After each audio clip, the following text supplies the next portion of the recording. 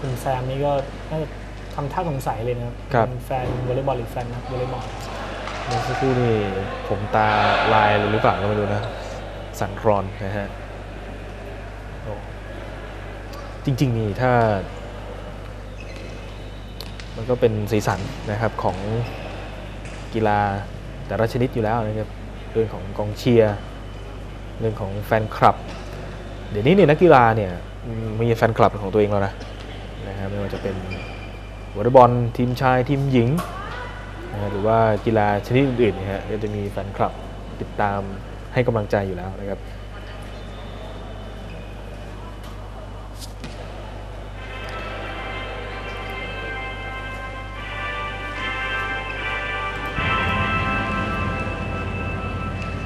รายนามคณะกรรมการผู้ตัดสิน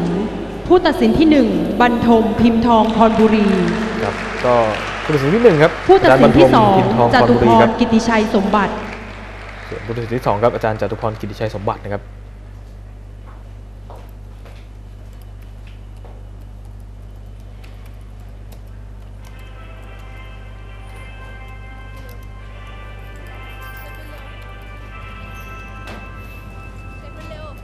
ายชื่อนักกีฬาและต่อไปเป็นรายชื่อนักกีฬาครับ20 มหาวิทยาลัยราชภัฏพระนครเริ่มต้นหมายเลขที่4อนุพรหมจันทร์อยู่20นะครับมีหมายเลขสี่อนุพรหมจันทร์หมายเลข8ภูสิทธิ์โพนรินทร์หมายเลข13ฉัดมงหมายคเลลขแปดนะครับแก้วภูสิทธิ์โพนรินทร์นะครับหมายเลข15 กิติพงศ์สุขศาลาหมายเลข 16 กันตพัฒน์คูณมีแล้วก็มีหมายเลข 16 กันตพัฒน์คุณมีครับ หมายเลข 15 กิตติพงศ์สุขศาลาหมายเลข13 ฉัดมงคลประเกตแก้วนะครับ หมายเลข17วิญญริศวงศ์ทรแล้วก็เรเบโรครับและรงฤทธิ์จันทร์สิงห์ครับ ส่วนผู้ฝึกสอนนี่ครับพันรายจาชื่กาอนักเอกกีฬาและพัทรชนนท์กลิ่นสุคนนะครับมหาวิทยาลัยรามคำแหงหมายเลข4จินมาดูทางฝั่งรามคำแหงบ้างครับหมายเลข5ตัวจริงก็จะมีทศพรมหาวิเชียนหมายเลข4ครับจันตสิทธิ์โยธีนะครับหมายเลข5ทศพร มหาวิเชียนหมายเลข10อภิสันพรหมประเสริฐนะครับหมายเลข8สิวัตรสิริพงศ์หมายเลขหมายเลข7 10อภิพันศักดิ์ขันอาสานะครับและหมายเลข9จิรศักดิ์มาลายแดงนะครับหมายเลข19ปิยชาติรอยอิสระหรือว่าริบาโรครับเป็นหมายเลข19นะครับปิยชาติอลิสาขจัดอวยูครับ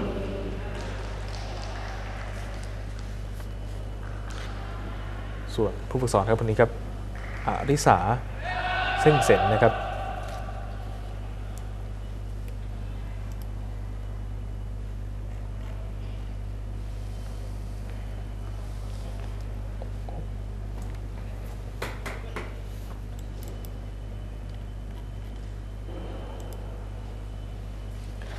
เกมกำลังจะเริ่มขึ้นครับ ก็ถือว่าจะเป็นคู่สุดท้ายในวันนี้แล้วนะครับ แล้วก็เป็นคู่ที่ 2 ที่ SMN TV ถ่ายทอดสดนะครับ ก็รายการนี้เนี่ยรอบแรกจะใช้เวลาแข่งขันถึง 5 วันเลยนะครับ ใช่ครับ ก็จะมีแค่วันแรกครับวันแรกเนี่ย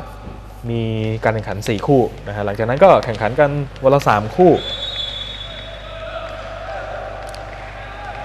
ก็เดี๋ยววันพรุ่งนี้ก็จะเป็นรอบแรกอีก 1 วันนะครับ เอาละครับเริ่มเกมครับวันแรกของ U20 อื้อหือหนักหน่วงเหลือเกินครับบุญยริศอืมถ้าดีใจกับคริสเตียโนโรนัลโดครับ จริงๆ เขาตั้งแต่แมตช์แรกอะสไตล์นี้อยู่แล้วตั้งแต่เกมแรกอะนะคบอะครับเสิร์ฟต่อครับ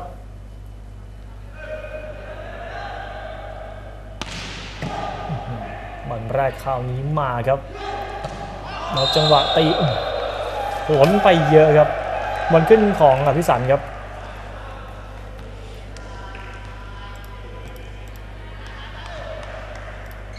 จะฉลับหรือเปล่าอันนี้ทัสนี่ยฮะผมแซงครับเสิร์ฟบอลแรกห่างครับ แล้วลูกนี้บูสิตขึ้นตียังได้อยู่จิริศักดิ์อื้อไม่ข้ามไปเจอตาข่ายครับ นี่ยก็กลับมาช่วยทีมได้นะฮะสำหรับจิรศักดิ์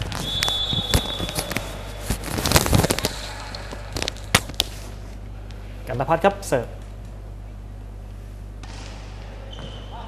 บอลแรกเข้าครับพุทธพรให้สั้นมาจังหวะนี้โอ้โหเชือดเลยครับศิวศิริพงศ์นะฮะดูครับเล่นสั้นแล้วโอ้โหยืนมือไปไม่ทันครับอนุช ศิวัตรครับเสิร์ฟเข้าไม่ข้ามตะข่าย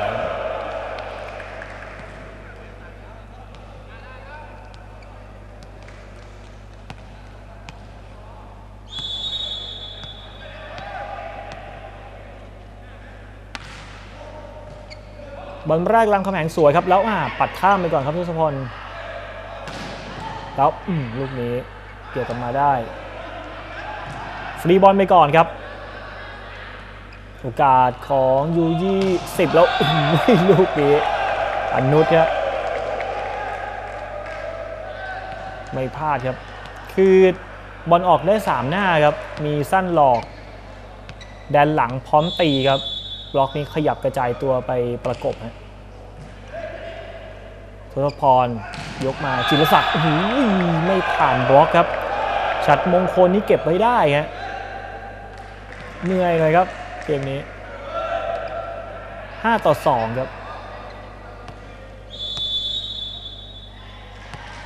กิติพงศ์สุขสลาครับเสิร์ฟ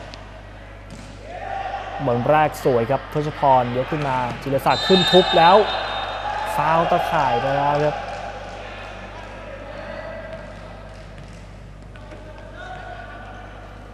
นี่ครับ เดี๋ยวดูจังหวะขึ้นของภูสิทธิ์กับชัดมงคลเนี่ย จิรศักดิ์ครับเสิร์ฟ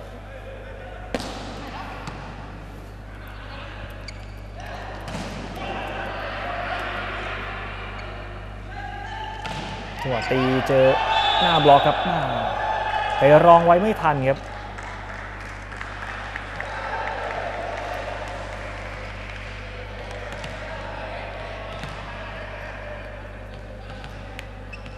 4 ต่อ 5 ครับ เกม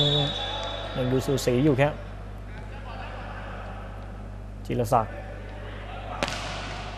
กระโดดเสิร์ฟครับบอลแรกมาครับบุญยฤทธิ์ให้อนุชลูกนี้โอ้ขึ้นคอมบล็อกเลยครับ จังหวะตี ดูครับ ด้านหลังนี้ก็รับไม่ทันครับผู้สิทธิ์ครับเสิร์ฟ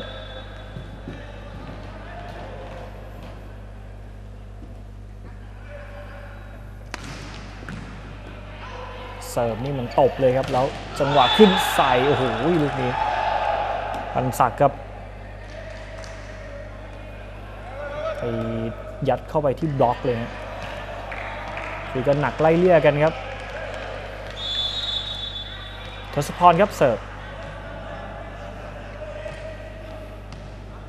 บอลแรกตัดสวยครับ แล้วจังหวะตีของภูสิทธิ์โอ้โหลอยมาจากแดนหลังครับ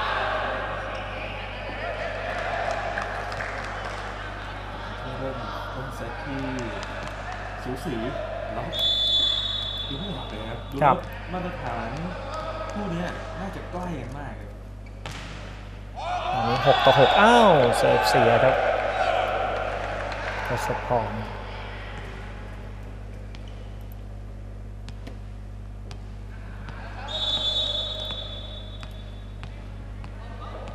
ยี่สิบนะครับขึ้นนำเจ็ดหกแต่เข้าเลยแล้วให้หัวเสาของพิซานเอาละครับได้ครับด้านนี้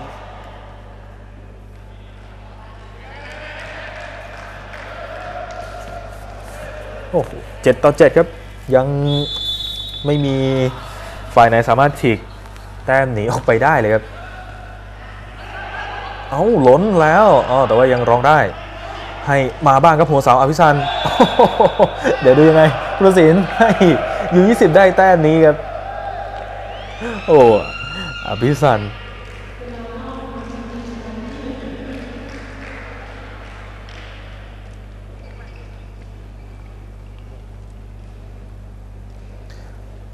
เอาละครับก็ ถือว่า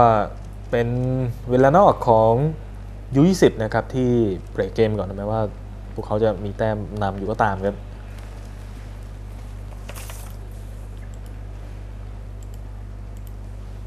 จริงๆเทนนิเคอร์ทำเอานี้ต้องเป็นแต้มที่8เลยครับ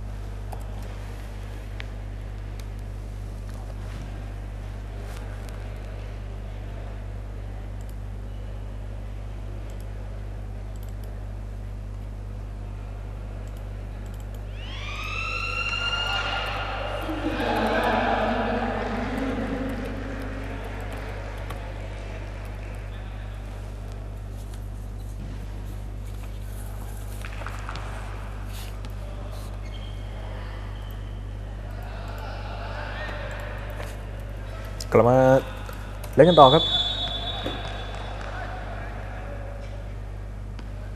บอลเสิร์ฟของ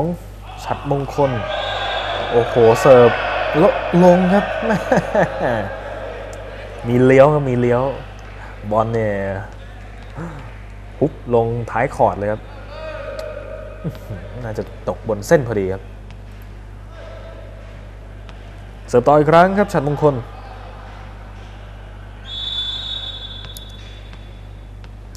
U ยี่สิบนี่น่าจะไปนัดตัดผมร้านเดียวกันนะ ทางโค้ชเขาบอกว่าอยากให้ทำอะไรให้มีสีสันแล้วนะครับก็เลยให้น้องๆเนี่ยทำ skinhead เหมือนที่พี่ทีมชาติไทยชุดใหญ่ตอนครับซีเกมส์เมื่อ 8 ปีที่แล้วนะครับ 8 หรือ 6เนี่ยผมจำไม่ได้น่าจะ 8 ปีที่แล้ว ครับให้ทุกคนตัดผมสกินเฮดครับ ก็ถือว่าเป็นสีสันนะครับจริงๆก็ มองในเรื่องของระเบียบวินัยก็ได้เหมือนกันนะ เพราะว่าเอ่อให้ทำอะไรให้มันเหมือนกันอยู่ในกรอบแล้วก็ดูแลกันง่ายครับ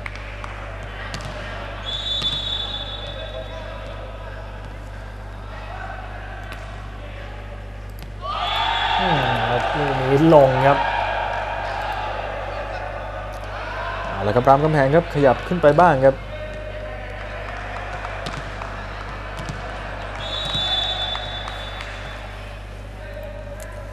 บอลเสิร์ฟโดย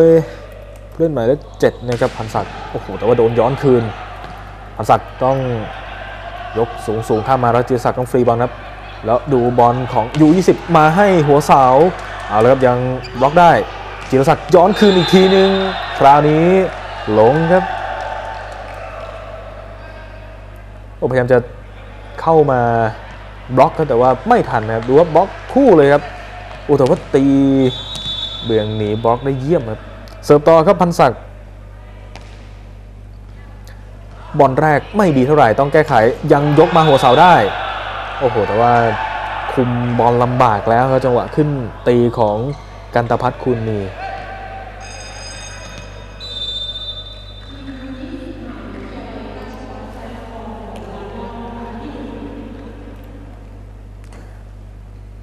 ต้องเรียกเวลานอกแล้วครับ ทางฝั่งของ U20 หรือว่า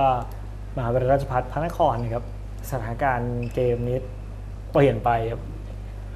นี่ครับอย่างที่บอกไว้ครับว่าข้อดีข้อเสียแตกต่างกันนะครับสำหรับเกมของทั้ง 2 ทีม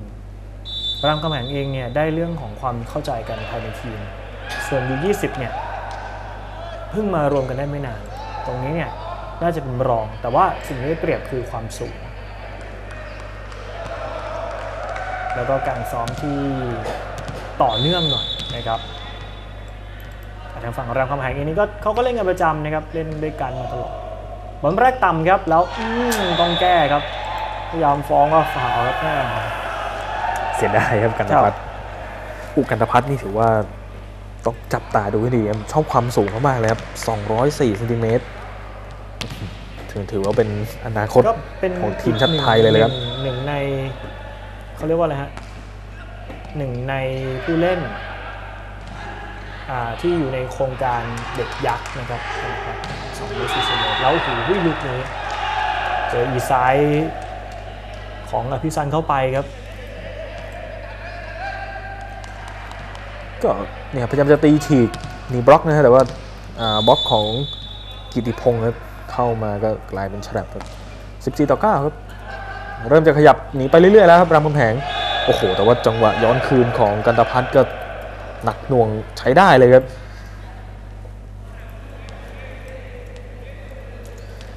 อ้าวมาแล้วครับ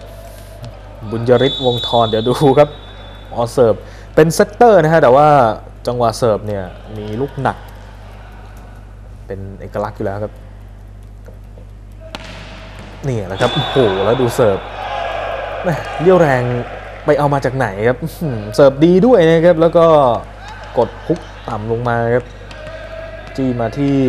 พันศักดิ์พยายามจะเปิดบอลขึ้นนะแต่ว่าไม่ไหวครับด้วยน้ำหนักที่มาค่อนข้างแรงครับ ครั้งหนึ่งครับ บุญยริศโอ้โหยังหนักหน่วงเหมือนเดิมเอาแล้วครับพันศักดิ์ยกมาให้ โดนจับฟ้าวเลยครับบอลสองจังหวะ โอ้โ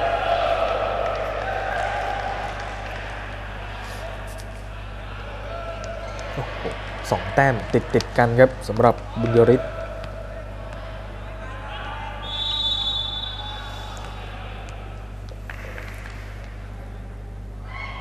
อีกทีครับบุญยริศวงศ์ทอ่าคราวนี้เลือกหยอดเบาๆ ยังงัดมาได้ครับยกให้กับอภิสันอ้าวตีมุมตรงนะครับ แต่ว่ามันบิดเยอะไปหน่อยครับทำให้หลุดออกข้างไป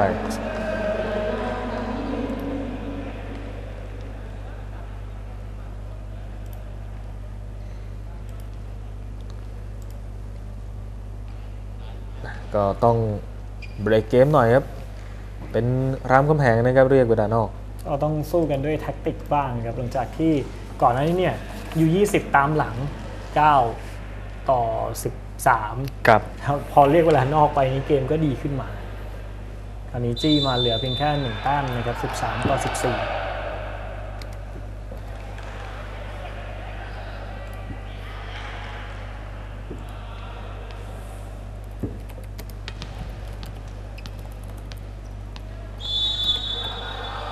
ครับเสิร์ฟ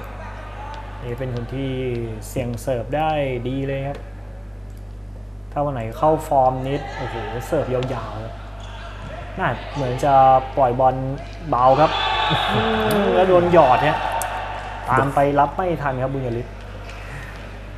ปรับจังหวะนิดนึงครับ แต่ก็ถือว่าใช้ได้นะครับกับการเสิร์ฟในช่วงของเขาพอดีครับสี่แต้มติดกันเอาอภิสันเสิร์ฟบ้างครับ ยกมาบุญยริศเซตบอลสั้นให้กิติพงศ์อาจจะไม่เข้าจุดเท่าไหร่ แต่ว่ากิติพงศ์ก็ยังพอตีได้ครับ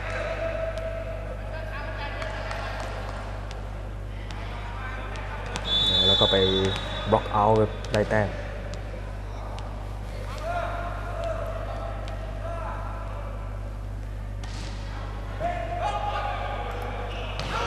มาอีกครั้งครับของ ยู20 ยังแก้ได้เอาขอข้ามมาดูรามคำแหงบ้างโอ้คราวนี้ติดบล็อกเอาแล้วก็ตามมาเท่ากันแล้วครับ15 ต่อ 15ครับเมื่อสักครู่เป็นจังหวะขึ้นบอลสั้นของสิวัตรสิริพงศ์ครับ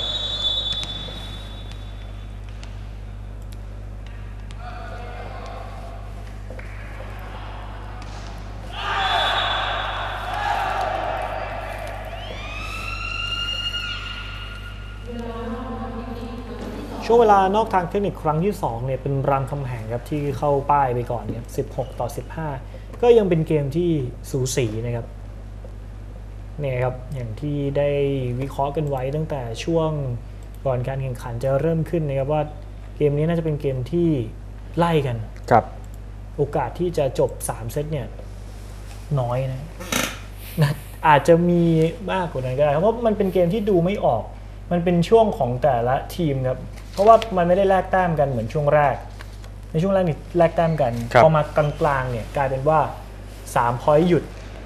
4พอยต์หยุดเปลี่ยนกันไปเป็นช่วงของใครของมันนะครับ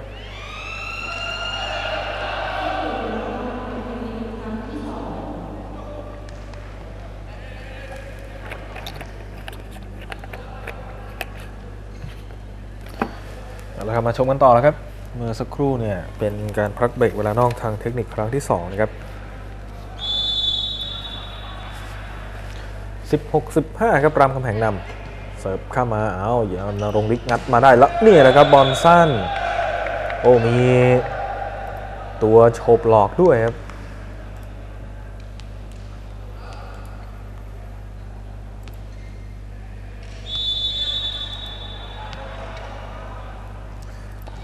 เอาละครับกิติพ งเสริมาอภิสัน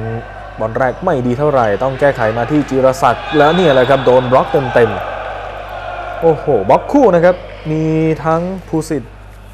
นะครับ แล้วก็อีกคนหนึ่งนะครับฉัดมงคล เจอบล็อกแบบนี้ก็ไม่ผ่านนะครับสต่ออีกครั้งครับกิติพงศ์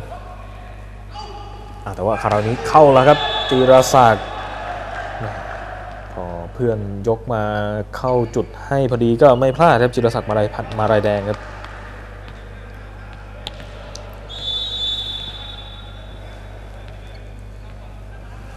แล้วบอลเสิร์ฟของรามคำแหงจิรศักดิ์เชิบอ่าฉลับขอบตะข่าย แล้วมาที่ภูสิทธิ์บอลล้นเลยครับโอ้โหแหมกาจังหวะพลาดไปนิดนึงครับ ทางด้านทศพร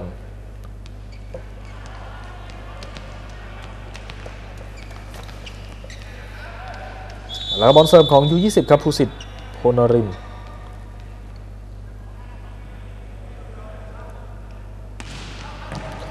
เสิร์ฟหนักแล้วล้นมาแบบนี้ อ้าวยังไม่ได้ครับ แก้ไขได้ดีครับรามคำแหง โอ้โหจังหวะรอยตัวขึ้นมาตีเนี่ยสูงมากครับ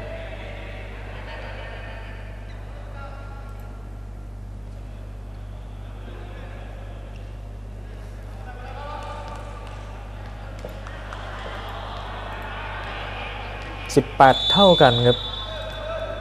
ทศพรเสิร์ฟ เอาละครับ บอลสั้นจังหวะนี้มีหลอกด้วยครับ โอ้โห เอาละครับ เริ่มโชว์เรื่องของการเข้าทำที่หลากหลายมากขึ้นครับ เมื่อสักครู่เป็นอนุชพรมจันทร์นะครับที่ขึ้นตีครับ ฝังเน้นๆครับลงไปเสิร์ฟต่อมาอีกที่ ครับมาให้กับอภิสันอ่าคราวนี้ไปทัสบ็อกครับโอ้โห9ต่อ19เลยครับหนีกันไม่ออกครับเก้าคู่นี้ คือนัวกันอยู่ครับ หายใจลดต้นคอกันอยู่นี่แหละครับ ยังไม่ห่างกันไปไหนมาดูช่วงท้ายครับ อ้าวแล้วพลาดแต่ว่าบุญยฤทธิ์ยังบล็อกไว้ได้ขาวดีโดนตีมาครับอ่าอ่าครับ ตั้งบอลได้จิรศักดิ์ยกสูงทิ้งไว้ ฟรีข้ามไปก่อนครับราม แล้วจังหวะสั้นโอ้โหลูกนี้เป็นฉัดมงคลนะครับ ที่ได้โอกาสตีนี่ครับ ตั้งให้แล้วโอ้โหฉีกออกซ้ายมือของจอภาพครับ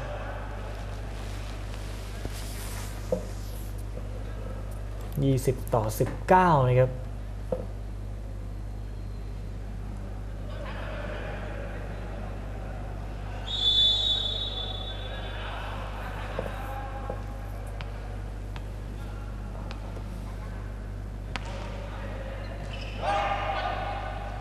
บอลแรกเข้าครับแล้วจังหวะตีลูกนี้หลอกสวยครับ ไล่มาเป็น 20 ต่อ 20 เหมือนเดิมครับ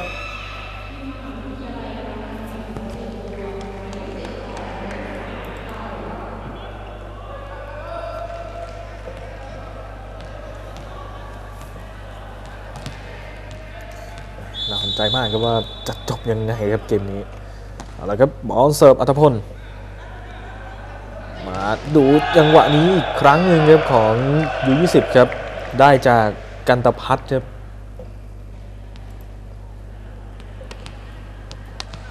ขึ้นได้สูงมากครับกันตพัฒน์ส่วนสูงก็สูงอยู่แล้วนะครับยิ่งกระโดดขึ้นไปนี่ก็เกือบเกือบสามเมตรอยู่ครับ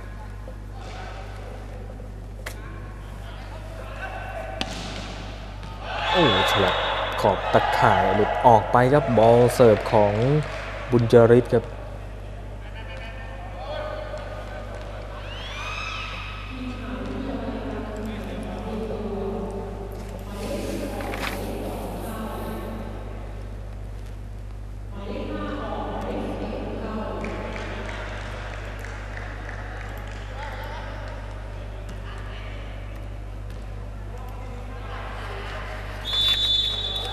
โอ้รามคำแหงเหมือนจะ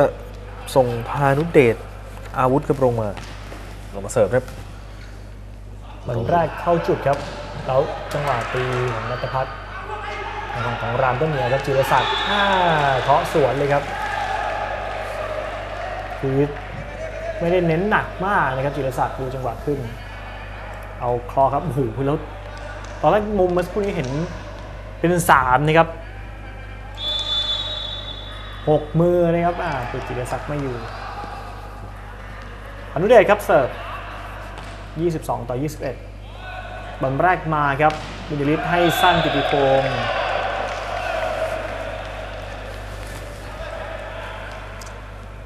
นี่โดนรับนี่เหนื่อยเลยครับปิยชาติ 22 ต่อ 22 ครับนี่เปลี่ยนตัวเล็กน้อยนะครับ สุสุพัฒเนี่ยสุภพัฒลงสนามนะครับ รัชตาก็ลงมาเหมือนกันนะครับ ของทางฝั่งรามคำแหงหมือนแรกโอ้โหไม่มาครับ ต้องขอแก้ฮะนรงฤทธิ์บุญยฤทธิ์มาแล้วจังหวะนี้อนุชเอาครับ โอกาสของรามคำแหงมีสิลุกอีกแล้วยังไงครับฟาวล์ตะขายกันหรือเปล่าครับ23 ต่อ 22 ครับ ปลี่ยนตัวครับก็ต้องส่งนัทวุฒิปานจิตลงมาฮะ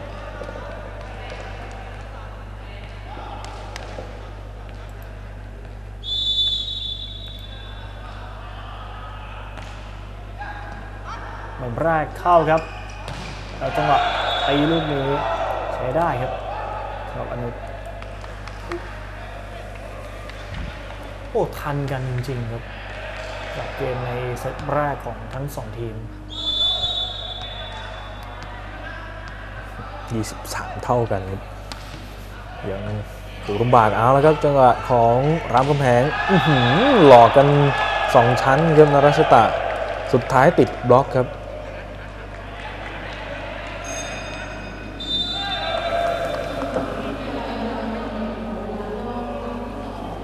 ก็ขึ้นไป เซตพอยต์ก่อนครับสำหรับ U20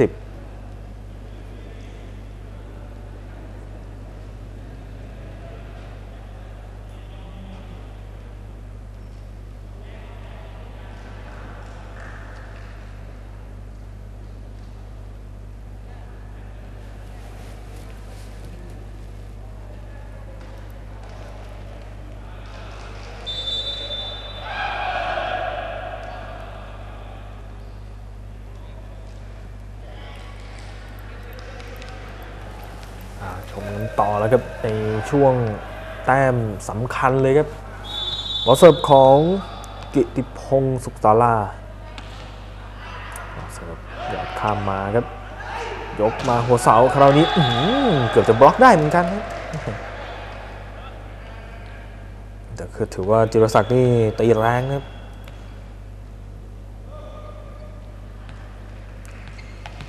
24 เท่ากันอ้าวต้องดิวแล้วครับ เซตแรก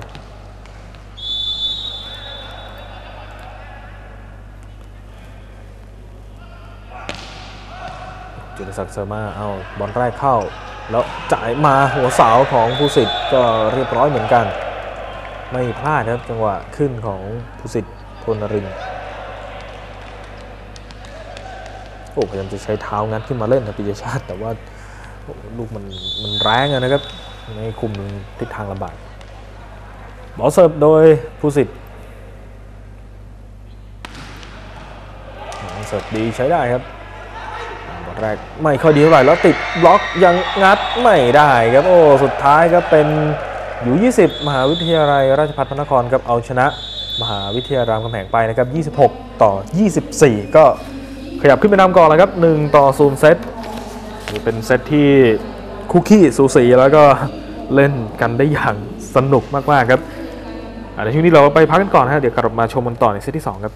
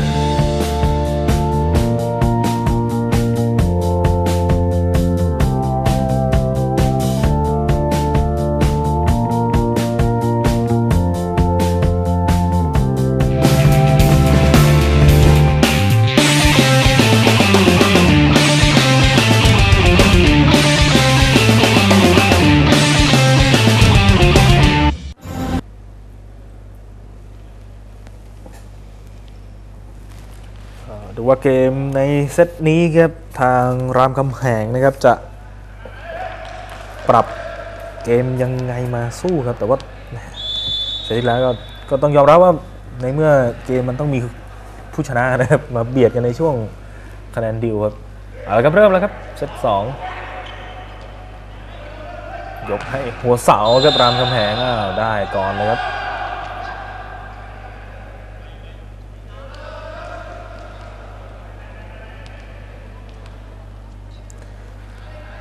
นำก็หนึ่งศูนย์ครับ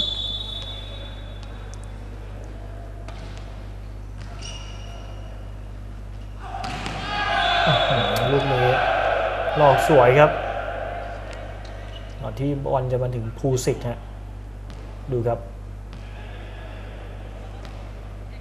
ดึงตัวบล็อกไปได้หนึ่งคนครับกิติพงศ์กันตพัฒน์ครับเสิร์ฟ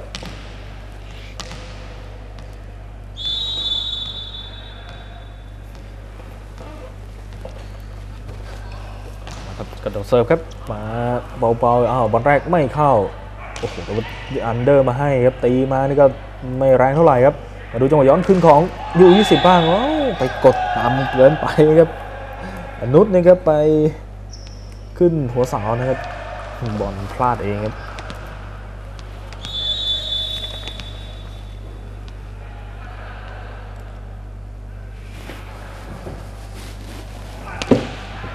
อ้าเสิร์ฟ ข้ามมา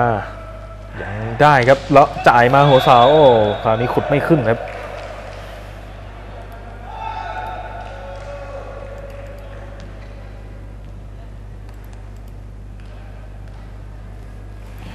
สองต่อสองครับบอลเสิร์ฟโดยกิติพงศ์สุขศาลา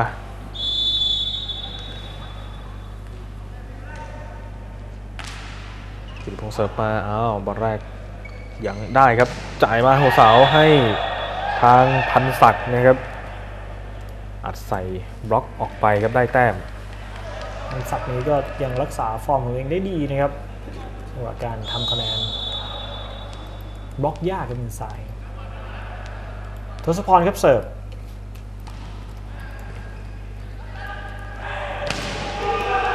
โอ้โหแล้วลูกนี้ได้แต้มครับทางฝั่งของรามคำแหงขยับนำเป็น 4 ต่อ2ครับ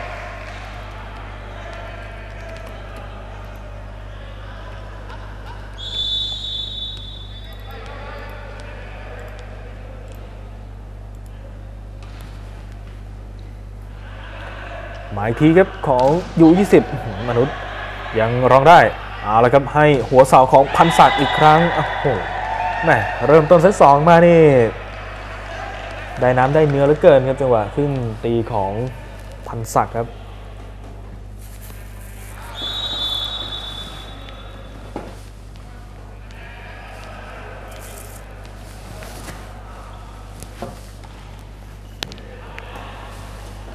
ครับมาอีกทีของอนุษเอ้าคราวนี้ติดบล็อกโอ้โหต้องเวลานอกหน่อยครับ ตามอยู่นะครับอยู่20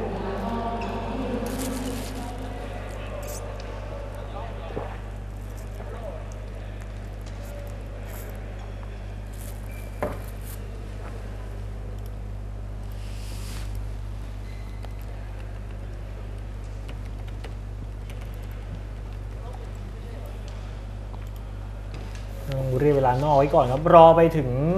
เวลานอกทางเทคนิคไม่ได้แล้วครับต้องรีบเบรกเอาไว้ตอนนี้ครับทางฝั่งของยู20ครับเอาวเวลานอกก็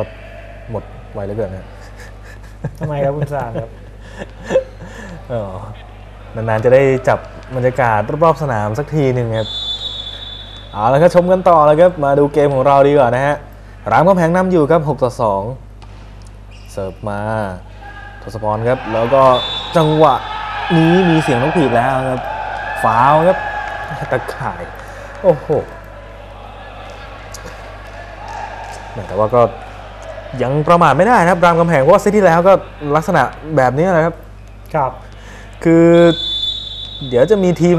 นำทิ้งแต้มไปสัก4ี่ห้าแต้มเดี๋ยวก็ไล่กันทันครับ เดี๋ยวดูครับว่าทางฝั่งของยู20จะทำพอยต์ตัวเองได้ สัก3 4แต้มติดได้หรือเปล่าครับมาแล้วครับตอนนี้มื่อสักครู่เป็นผู้สิทธิ์ให้กับตันทีม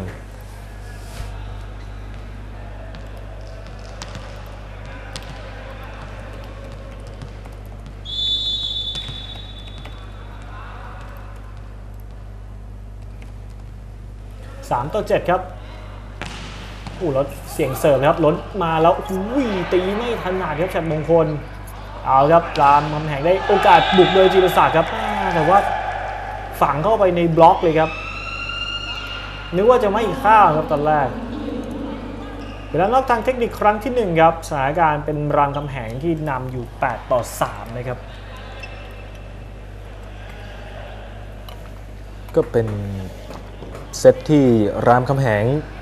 ปรับรูปแบบจังหวะเกมมาได้ดีครับในการเริ่มต้นครับเนี่ย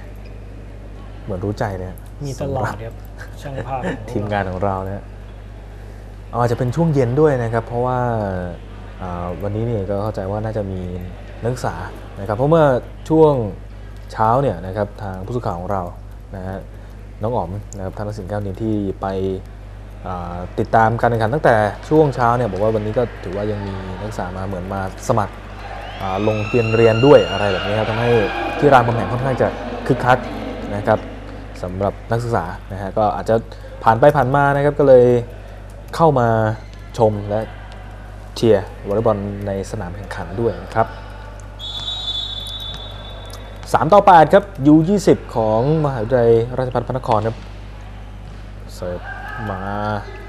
เอาจังหวะนี้ไม่ได้ครับติดน่าจะติดตัวบล็อกครับของรามคำแหงครับ เดี๋ยวขึ้นตีของกันตพัฒครับ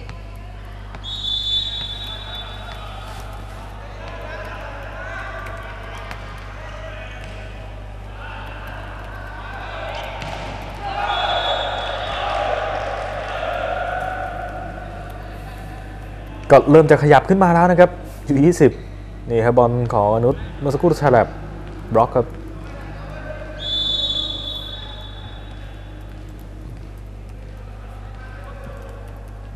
เดี๋ยวจะเป็นบอลเสิร์ฟของอนุชครับ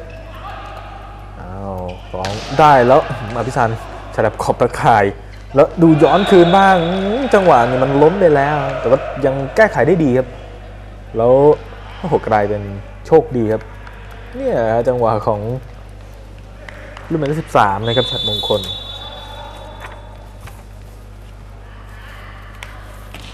เอาละครับอนุพรมจันทร์เสิร์ฟมาอีกทีอ้ารับ บอลแรกไม่ดีต้องแก้ไขครับ ดูจังหวะบุกของยู20 บ้างอื้อหือคราวนี้ฉัดมงคลไปโดนบล็อกของรามคำแหงครับ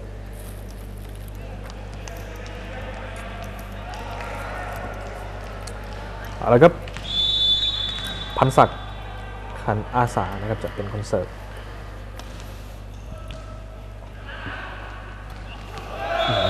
บอลสั้นเริ่มทำงานเหมือนกันครับ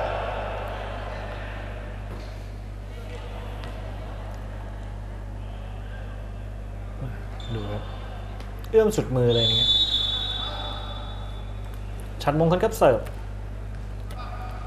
เดี๋ยวดูครับว่าเลือกจี้ไปที่ใครฮะอุ้ยบอลยัดแบบนี้รับยากครับว่าจิรศักดิ์ยังหวดทำคะแนนได้ฮะ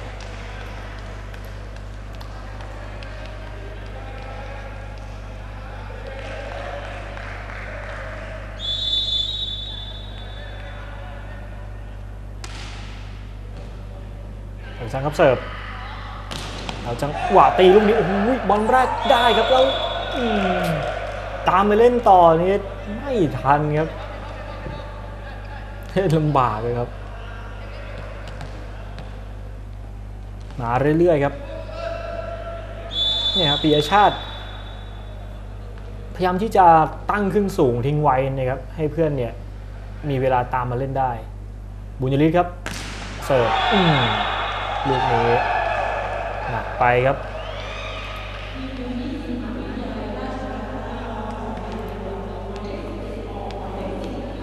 ต้องถูกถอดออกครับบุญยฤทธิ์วงทร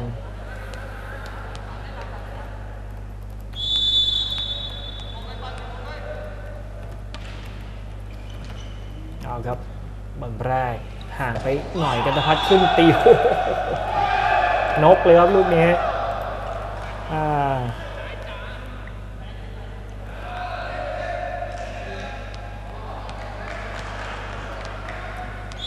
เอาละครับ12 ต่อ 8 ครับรามกำแพงเสิร์ฟมารับล้นแล้วโอ้ายังร้องได้ มาทางซ้ายของกุสิทธิ์โอ้โหยังตีไม่ถนัดครับรามกำแพงบ้างโอ้โหแต้มนี้เหนียวครับอ่าต้องฟรีบอลข้ามมาเอายังครับยังได้อยู่โอ้โหยังหวะภูสิทธิ์ โอ้โห ถือว่าทำได้เยี่ยมเลยนะครับจังหวะนี้ก็นี่ครับพยายามจะฉีกให้หนีบล็อกเลยครับตัวที่พุ่งเข้าไปรองอย่างสิวัตนี่ก็พยายามจะงัดขึ้นมาแต่ว่ามันไม่เข้าครับ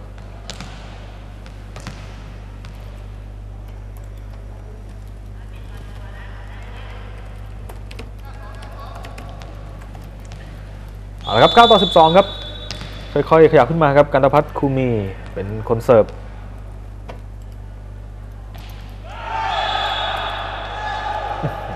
จังหวะนี้ ก็กลายเป็นรามกำแพงครับได้แต้ม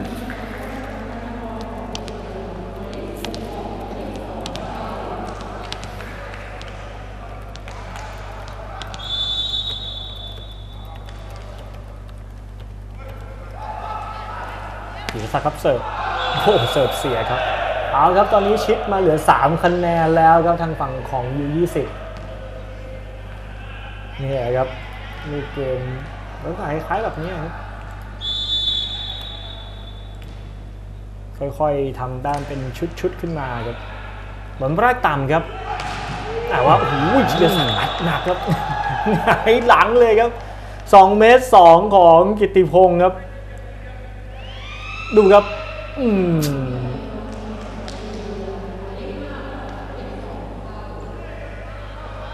ก็ได้ลงอีกครั้งครับ พานุเดช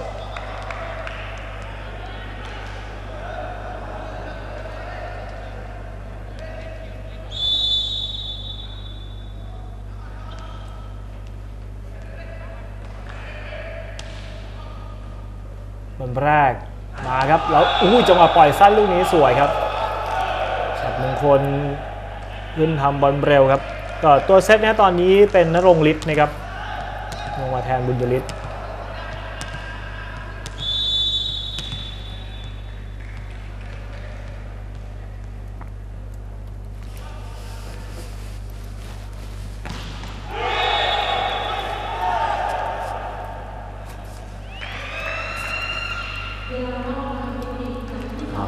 3ตำแหน่งขยับขึ้นไป 16 ต่อ 10 นะครับ ก็จะเป็นเวลานอกทางเทคนิคครับในครั้งที่2นะครับ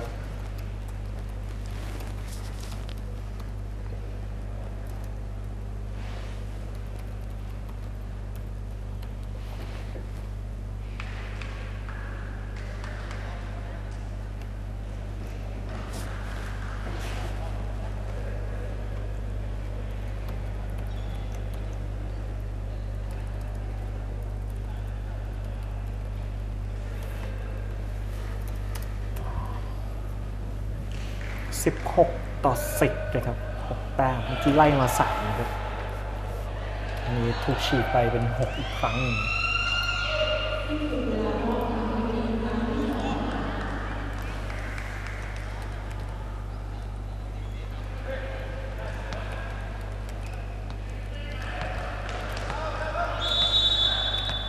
บอเสิร์ฟของจินสิทธิ์ครับบอลแรกเข้าจุดนะ เราจังหวะของอนุโอ้โหตีมันเหลือเกินครับลูกนี้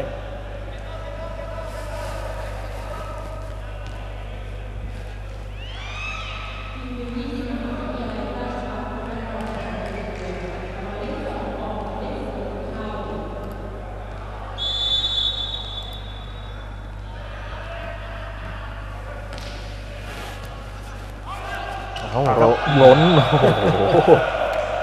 แล้วหมัดล้น แบบนี้ก็เหมือนตั้งมาให้เลยครับดูครับจิรศักดิ์นะครับล้นมาเข้าทางฉัดมงคลพอดีครั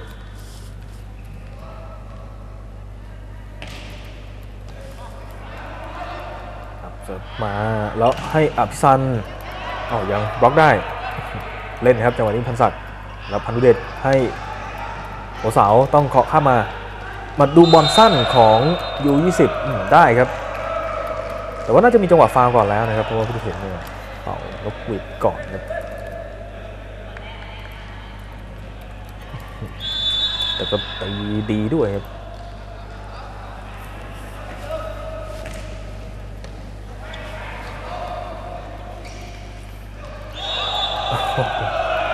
แต่จังหวะนี้ เสียแต้มง่ายๆครับ โอ้โห นี่แหละครับ ก็ขยับมาเรื่อยๆครับสำหรับ U20 ครับ โอ้จนรามคำแหงนี่ต้องขอเวลานอกอีกครั้งหนึ่งครับ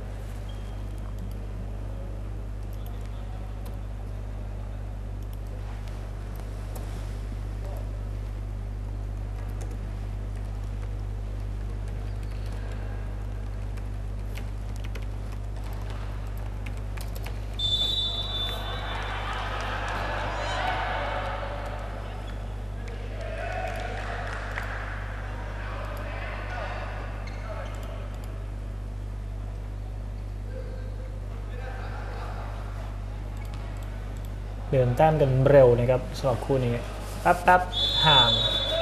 หันมาอีกทีนี้จี้แล้วครับอนุกับเสิร์ฟบอลแรกเปิดสวยครับแล้วโอ้โหทุบลูกนี้นรงฤทธิ์เก็บได้เอาครับอ่าปล่อยจังหวะนี้แล้วเป็นแต้มครับทางฝั่งของรามคำแหงยกสั้นหน้านะครับ ขึ้นมา ตีลงไปสิบเจ็ดสิบสี่ครับ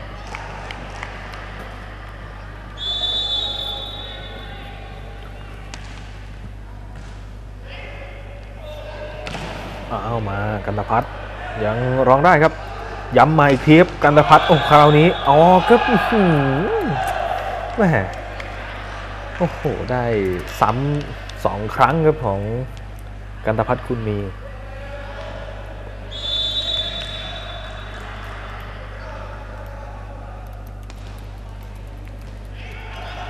เอาละครับ อ้าวบอลจังหวะสองถือว่าฉวยโอกาสได้ดีครับ เล่นเร็วเลยครับ จังหวะหมายเลขสิบนะครับ ทางนารงฤทธิ์จันพิรม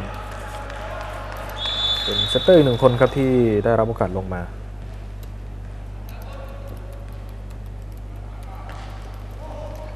เสริมมาครับอภิสันเปิดบอลแรกไม่ดีเท่าไหร่ โอ้โหเนี่ยนะฮะเอ้า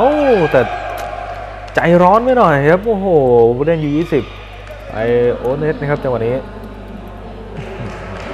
กันตพัฒน์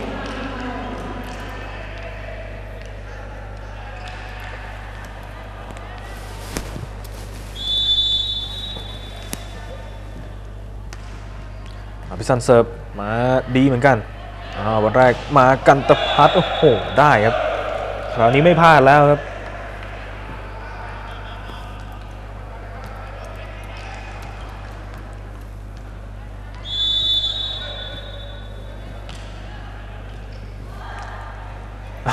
แต่กลับมานี้ต้องต้องแก้ไขแล้วครับขอข้ามมาเอาละครับยู20จะได้บุกบ้างมาที่กันตพัฒน์โอ้โหได้อีกแล้วครับ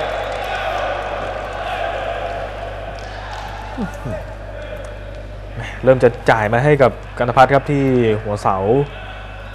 บ่อยครั้งมากขึ้นแล้วครับแล้วก็ทำได้ดีด้วยนะครับตามเหลือแค่2แต้มครับยู20อืมอภิสันเข้าอ๋อขออภัยก็เป็นพันศักดิ์นะครับที่ขึ้นตีเมื่อสักครู่ ไปทัสบล็อกออกครับ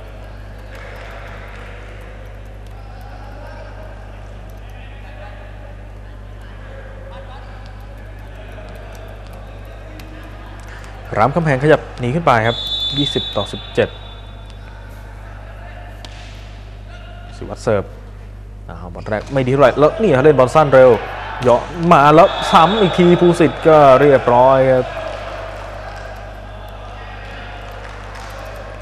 อ้โห คู่นี้นี่ เอาสนุกมากเลยครับ อยู่ 20 น่าสนใจครับ ช่วงปลายเซต ตามอยู่ 2 แต้มนะครับ 18 ต่อ 20 กระดับเสิร์ฟมา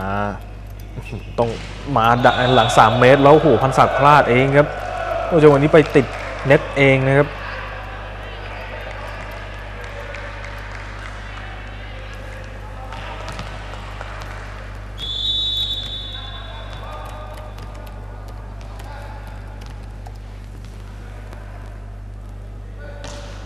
สริมอีกครั้งครับอัมสันยกให้ แล้วบอลสั้นไม่เข้าครับ แล้วโต้เร็ว เอาเกี่ยงกันแล้วครับ โอ้สุดท้ายเนี่ยนะครับ โอ้โหถูกจับฟาวล์สองจังหวะครับ แล้วมาแล้วครับยู20ขยับแต้มมาเท่าแล้วครับ จากที่ตามอยู่ตลอดเลยนะครับ นี่นะครับเสน่ห์ของคู่นี้ครับสถานการณ์ที่มันสามารถพลิกได้ตลอดเนี่ยแล้วมาช่วงท้ายด้วยนะครับโอ้โห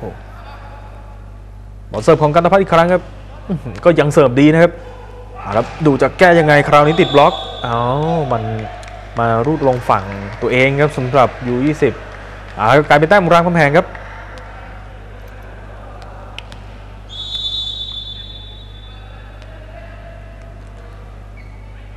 21ต่อ20จิรศักดิ์เสิร์ฟมาอ่าครับรงฤทธิ์รองได้แต่ว่าล้นไปแล้วครับแม่ก็ได้2แต้มติดติดกันครับรามคำแหง อจะใจชื้นขึ้นมาบ้างครับ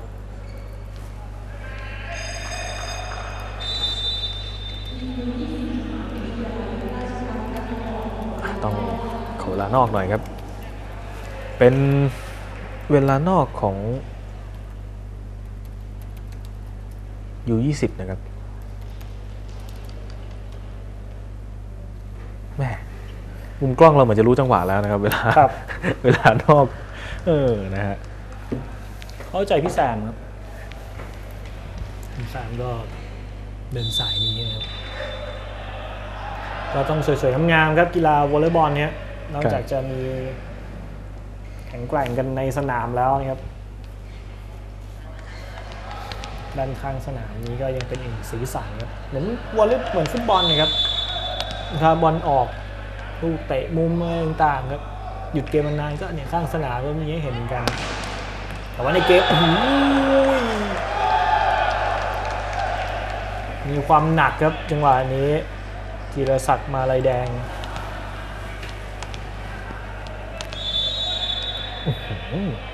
ลงเส้นพอดีเลยเอาอีกทีครับจิรศักดิ์กำลังได้ใจครับ โอ้โห แม่สี่แต้มติดครับรามคำแหงจากที่ยู20เนี่ยไล่ขึ้นมาเท่าที่20นะครับปลายพังหมดครับโฆษณาด้านหลัง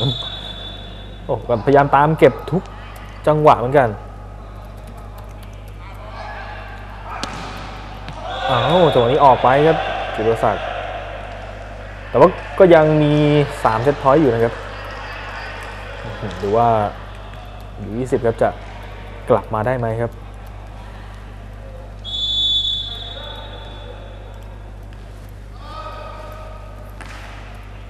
สดเข้ามาเอาแล้วครับจ่ายให้หัวเสาติดล็อกโอ้โหแล้วบล็อกออกครับเอาแล้วครับ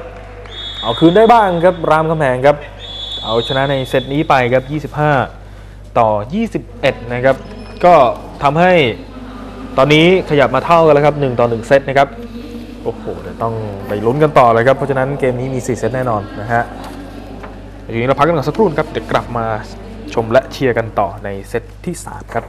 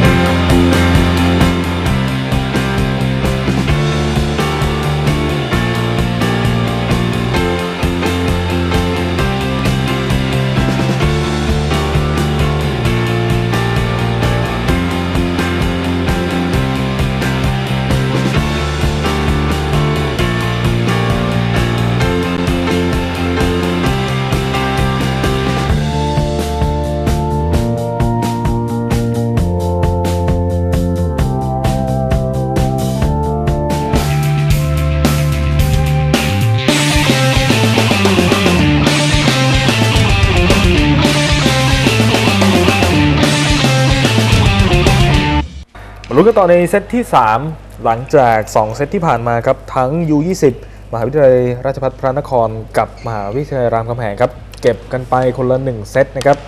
เสมอกันอยู่ที่ 1 ต่อ 1 ครับ ตามกันต่อแล้วครับในเซตนี้ครับ ก็จะเป็นทีม U20 ที่จะได้เสิร์ฟก่อนครับ บุญยริศนะครับหมายเลข17 นะครับ เป็นตัวเซตของยูทีม U20 ครับ โอ้โห เสิร์ฟดีครับอ้าวแต่ว่ายังรองมาได้แล้วนี่เลยครับโจมตีหัวเสาของพันศักดิ์ขันอาสาครับก็เรียบร้อยครับ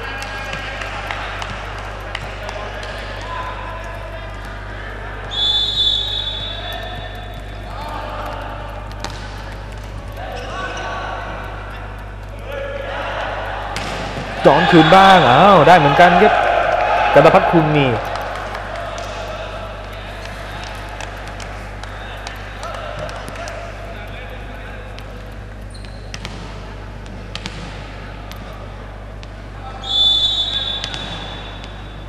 อาละครับทีม U20 ครับเป็นไปเสิร์ฟครับแล้วก็เป็นกันตพัฒคุณมีบอลล้นออกไปครับ โอ้โห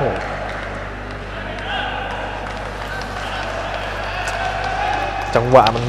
เกินไปหน่อยครับเมื่อสักครู่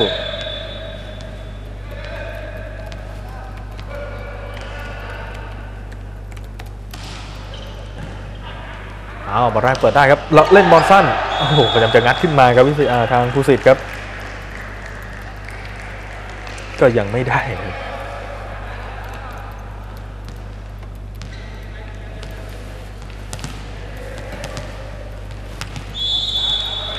แต้มเท่ากันอยู่ที่ 2 ต่อ 2 ครับ เสิร์ฟของสุเทพล้นครับ โอ้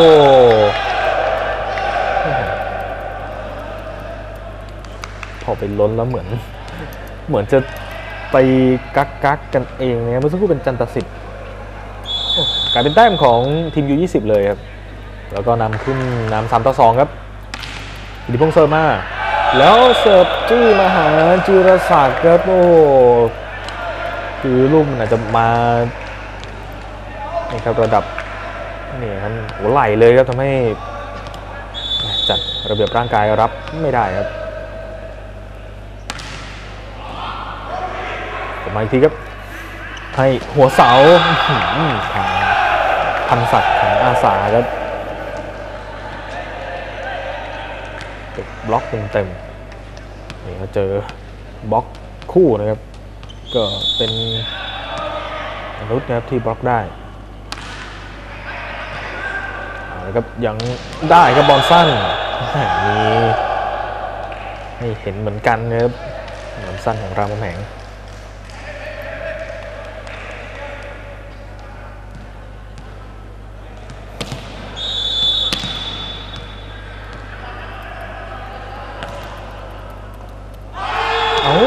จังหวะนี้อนุพงษ์จันทร์พลาดเองครับ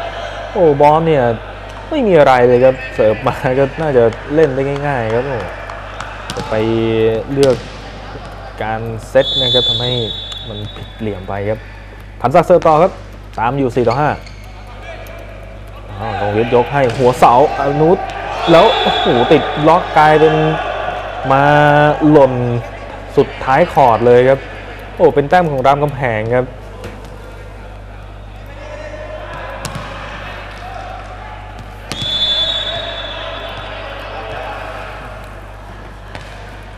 สต่อยที่ แล้วมาหัวเสาโอ้โหมีสลับหลอกด้วยครับ แต่ก็ยังดักไว้ได้นะครับเอาแล้วโอกาสบอลสั้นของทีม U20 ได้ครับ ฉัดมงคล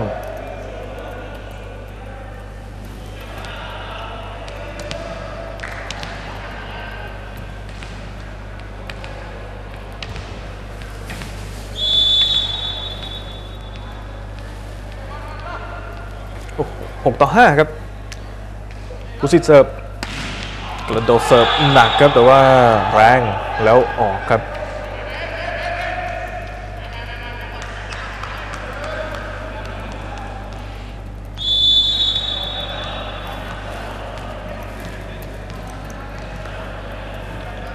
โทศบอลมหาวิเชียนครับเสิร์ฟมา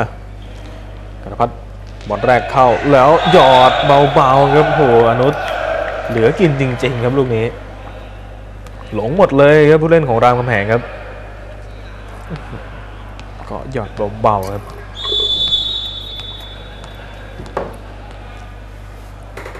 เป็นคอนเสิร์ฟเองครับอนุจีมา แล้วให้ไหลหลังมา โอ้โหแบบนี้ก็เสร็จแล้วครับจิรศักดิ์มาลายแดง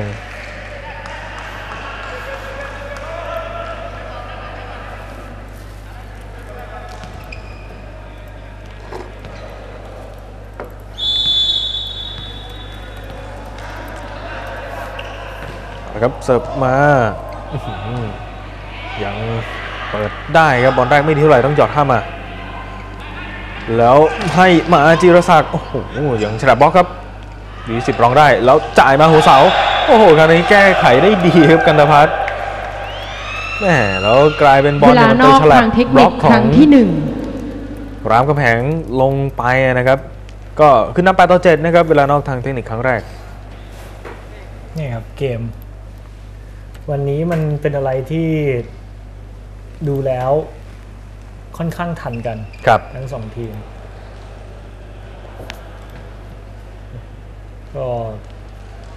ทันกันต้องครับต้องดูครับ ดูอะไรฮะดูเกมนะต้องดูครับต่อจากนี้ไป ว่า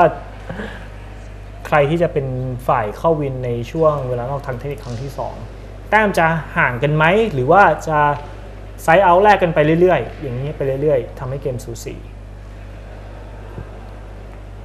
ก็บอกว่าทางฝั่งของรามคำแหงก็ทำได้ดีครับสำหรับเกมที่นี้สุดเวลานอกทางเทคนิคครั้งที่อันหดันึ่บงสี่จากถ้วยขอนะครับ พอมาลงเล่นรายการนี้ก็ทำได้ดีนะครับครับเต็มที่ด้วย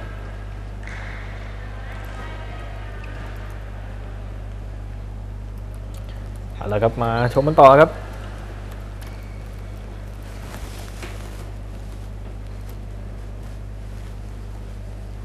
บอลเสิร์ฟของยู20นะครับฉัดมงคล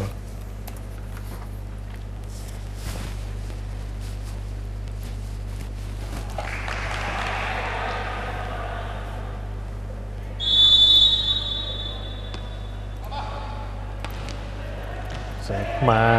แรกไม่ดีเท่าไหร่แล้วล้นเลยครับจังหวะ under เอาละครับจะเป็นโอกาสของ U20 บ้างมาหัวเสา โอ้ฉีกหนีบล็อกครับจังหวะขึ้นของกันตพัฒน์คุณมี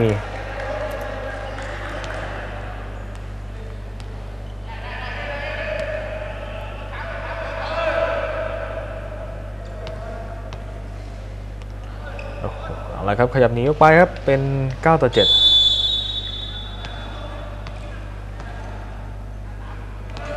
เสิร์ฟต่อของฉัดมงคลโอ้โหพุ่งเข้ามารับครับต้องเซตมาแล้วก็เนี่ยแหละครับแก้ไขอะไรครับโอกาสบุกของ U20 จากแดนหลังโอ้หลุดออกไปเยอะเลยครับอนุช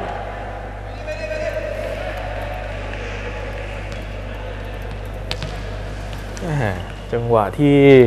มีโอกาสจะลุ้นตีทำแต้มแล้ว กดไม่ลงครับอนุช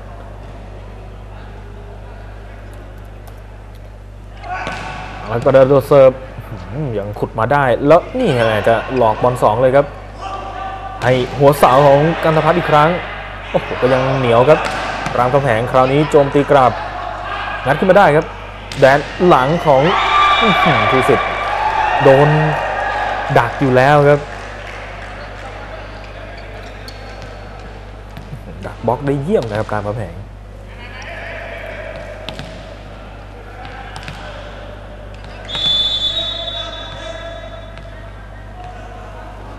9 ต่อ 9 ครับ เสิร์ฟของรามคำแหงธีรศักดิ์มาลายแดง เสิร์ฟหนักครับจงได้แล้วจ่ายมาหัวเสายังติดบล็อกอ้าวบล็อกเอาเลยแต้มของยู20 ขยับขึ้นไปบ้าง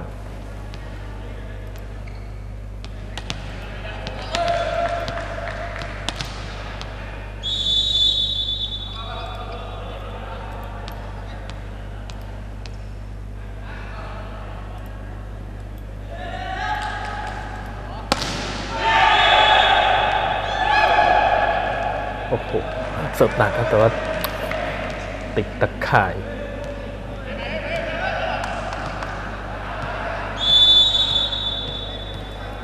10ต่อ10คะแนนครับบอลแรกเปิดสวยครับ แล้วจังหวะเล่นสั้นลูกนี้โอ้โหคือทางฝั่งของรามคำแหงก็รู้ครับ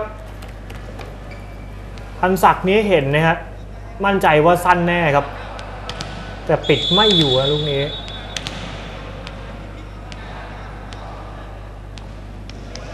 กันทพัฒน์ครับเสิร์ฟ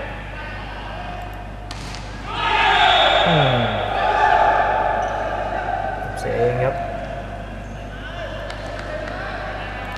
นี่ครับตามเดินเรื่อยๆครับ สุเทพครับเสิร์ฟบอลแรกเข้าจุดครับแล้วจังหวะตีของภูสิทธิ์ทัชเอาครับ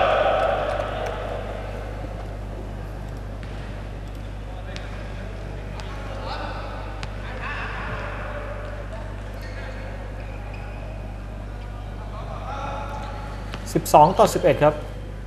ก็แบ่งขึ้นเป็นนำบ้างครับสำหรับทีมยู20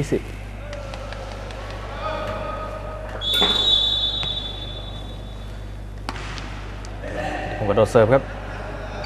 แล้วให้หัวเสามาอ้าวติดบล็อกอ้าวยังได้อยู่ครับเราจะดูจังหวะของอนุพงจันทร์อ้าวยังรองได้ครับของรามคำแหง มาหัวเสาของพันศักดิ์อีกครั้ง โอ้ยื้อกันสนุกครับแต้มนี้ นะครับแดนหลังยังโจมตีได้โอ้โหแต่ว่าด้วยน้ำหนักที่มาแรงเหลือเกินครับบอลของจีรศักดิ์ครับ สุดท้ายเป็นแต้มของรามคำแหง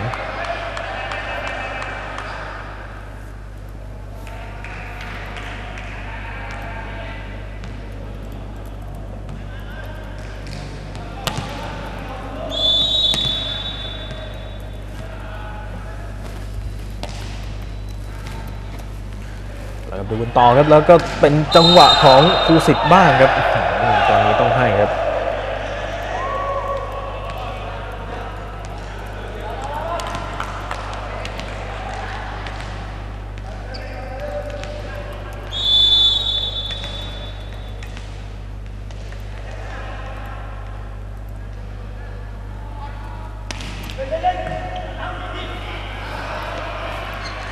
จิรศักดิ์อ้าว หนักยังงัดขึ้นมาได้ แต่ว่าจังหวะจะเล่นต่อนี้ไม่ไหวเลยครับบอลคุมทิศทางไม่ได้ครับภูสิทธิ์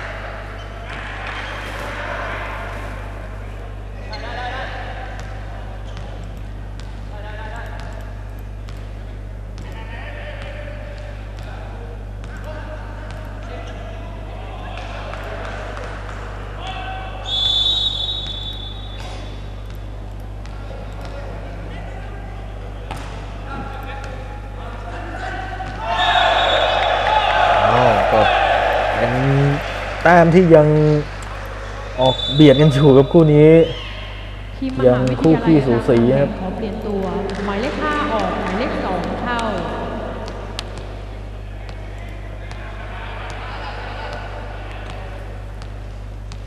ดูว่าจะจบแบบไหนครับสำหรับเซตนี้เอาแล้วบอลเสิร์ฟของ U20 ตามเราได้แล้วจ่ายมาหัวเสาให้กับพันศักดิ์ แต่ว่าจังหวะนี้กดต่ำไปหน่อยครับตีติดนั่นเอง เริ่มฉีกออกมาได้บ้างแล้วนะครับสองแต้มเป็น 15 ต่อ 13นะครับดูเน้นกันมาก ๆ เลยนะครับสำหรับคู่นี้ คือบอลเกิน 3 จังหวะน้อยมาก ครับ ส่วนใหญ่เนี่ยสองเพลงนี้ก็เป็นแต้มกันแล้วครับ ไม่ค่อยมีรายลี่ยาวๆอ่ามีสับมือหลอกครับจิรศักดิ์ครับ ตีทะแยงมุมเนี่ยลูกนี้ ดูครับจังหวะขึ้นมาแล้วทะแยงครับเปิดมุมให้กว้างขึ้นครับ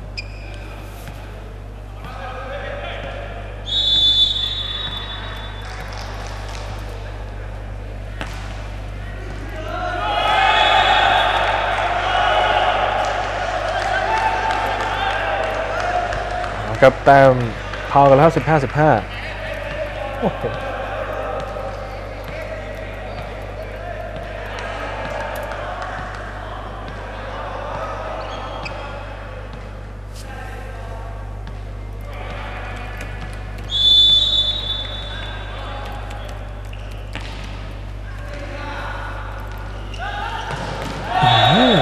ครับลูกนี้ ของกันตพัฒน์คุณมี เวลานอกทางเทคนิคครั้งที่สองเซตนี้ทำแต้มได้เยอะนะครับสำหรับกันตพัฒน์ครับขึ้นไป 16-15ครับเป็นเวลานอกทางเทคนิคครั้งที่2ครับ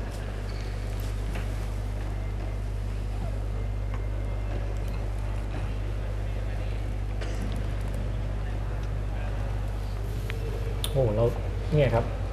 ตอน ช่วงเวลานอกทางเทคนิคครั้งที่หนึ่งเนี่ยคะแนนก็ห่างกันแต้มเดียว มาเวลานอกทางเทคนิคครั้งที่สองก็ยังห่างกันแค่หนึ่งคะแนนเท่านั้นเกมค่อนข้างสูสีครับสำหรับคู่นี้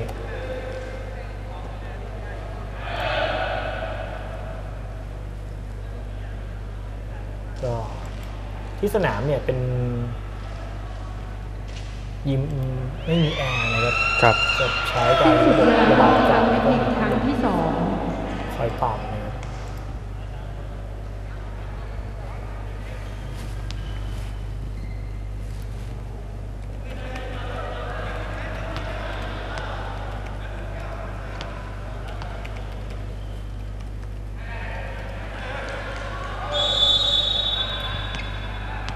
16 ต่อ 15 ครับ เกมเดินต่อฉัดมงคลครับ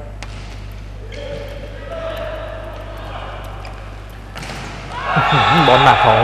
คำศักดิ์ติดบล็อกครับเอาเริ่มมาเหมือนกันครับแหมดูครับบล็อกแล้วลงด้วยนะครับชัดทางด้านของบุญยริศครับ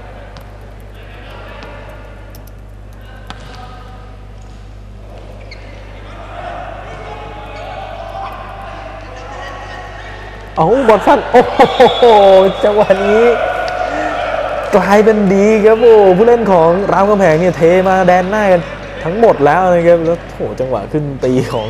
กิติพงศ์ครับเสียจังหวะไปแล้วครับแข่งขอเปลี่ยนตัวโอ้โหกลายเป็นดีครับมาลงสุดท้ายขอบเลยครับ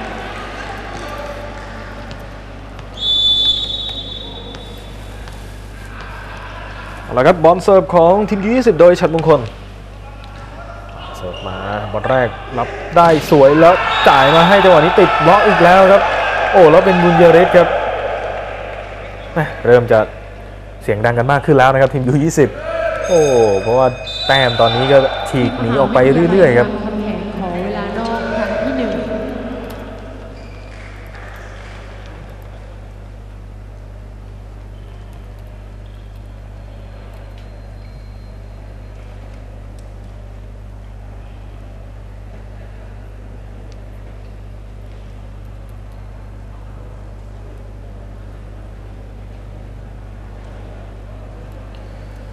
แล้วก็ต้องเบรกเกมครับรามคำแหงเวลานอกของพวกเขา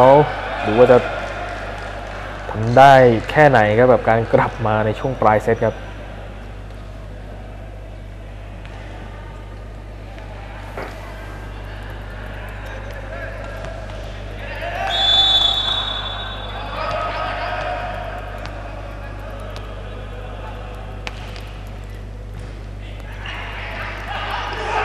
เอาหืมจังหวะนี้ก็บล็อกได้ โอ้โห ที่สามแติดติดกันครับจังหวะ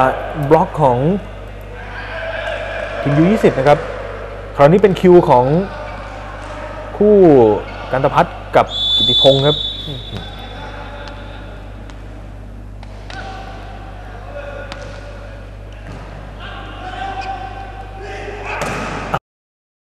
เอาจังหวะนี้ยังบล็อกได้ครับ แต่ว่ายังเอากลับมาเล่นได้นะครับอ่าอภิชันนี้ได้ครับ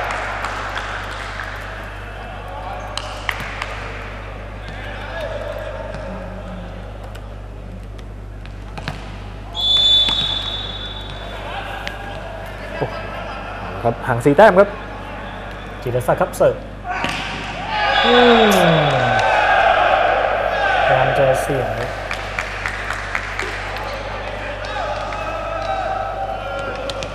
รับท่านจะที่มไม่หาวิทชัยาวร์ลัซะยแล้วครับบอลเสิร์ฟขอเปลี่ยนตัวโอ้ถอยไปพักเลยครับจิรศักดิ์แล้วก็เข้าส่งทางอัธพลสอนดีครับลงมาโอ้เกมนี้เห็นน้อยมากครับอัใช่ธพล คือลงเป็นตัวจริงในเซตแรกเนี่ยแต่ว่าก็เห็นแป๊บเดียวครับเดี๋ยวเรากลับลงมาอีกครั้งครับเอาแล้วมาดูจังหวะเสิร์ฟของมุจริตยังเสิร์ฟได้มันมือเหมือนเดิม แล้วบล็อกได้อีกแล้วครับโอ้โหบอลแดนหน้าของทีมยู20ครับ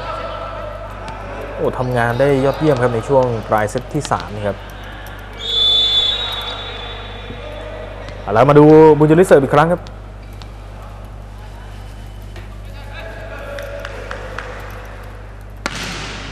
คราวนี้ติดตะข่ายกดต่ำไปหน่อยนึงครับบุญยริต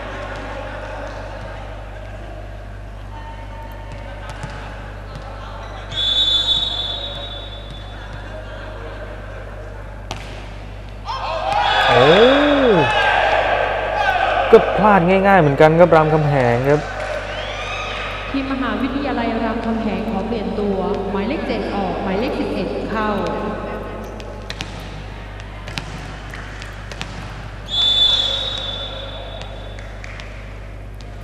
เอาครับบอลเสิร์ฟของทีมยู20 ครับธนพัฒน์ดราเปิดได้แล้วเซตพลาดเลยครับ โอ้โห ไม่รู้กันครับแต้มนี้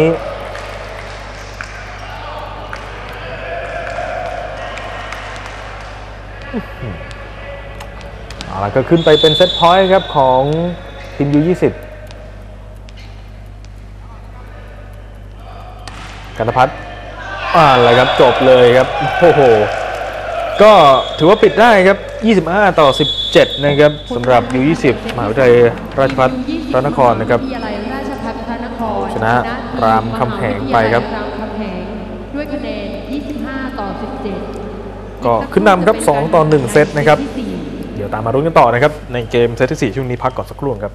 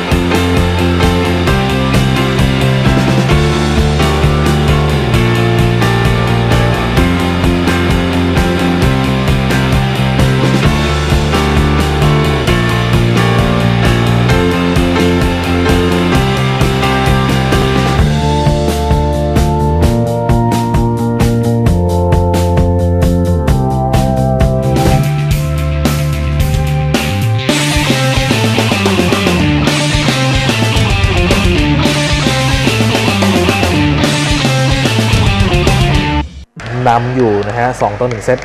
ก็ถ้าปิดเซตนี้ได้ก็จะจบเกมแล้วครับ แต่ถ้าเป็นรามคำแหง เก็บได้ก็ต้องไปยืนต่อเซตที่ 5 ครับเอาละครับเกมเริ่ม บอลสั้นนะครับแต้มแรกเป็นของรามคำแหงครับ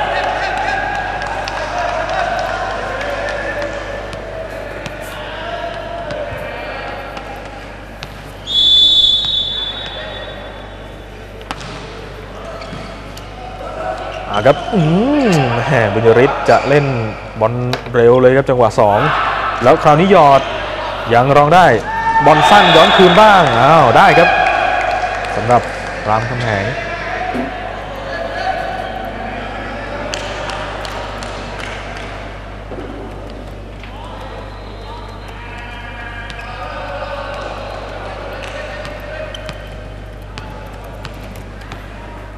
ออกนำก่อนครับสองแต้มแรกของทาง ฝั่งรามคำแหงสิวัตรครับจะเป็นคนเสิร์ฟ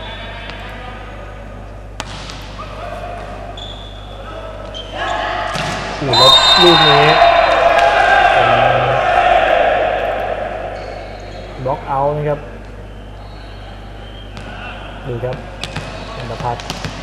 กันตพัฒน์นี่เหลือโครงสร้างในการเข้าทำนะครับท่าตีนี้ยังดูแปลกๆ โค้ชหลายคนบอกว่า ถ้าจันทพัฒน์โครงสร้างการตีเนี้ยดีขึ้นนะครับจะทำให้การกระโดดเนี่ยสูงขึ้นกว่าเดิมด้วยอาครับดูครับจังหวะนี้ฟรีข้ามไปก่อนลงฤทธิ์ตั้งแล้วจังหวะของภูสิทธิ์เข้ามาเร็วมากครับภูสิทธิ์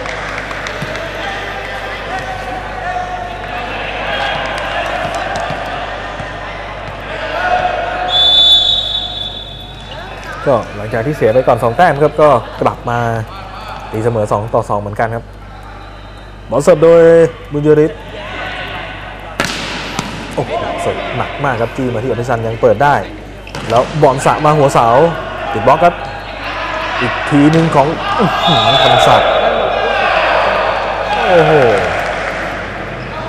วันนี้เหมือนจะหลุดออกไปเองครับเล่นกันมันจริงๆครับคู่นี้ เอา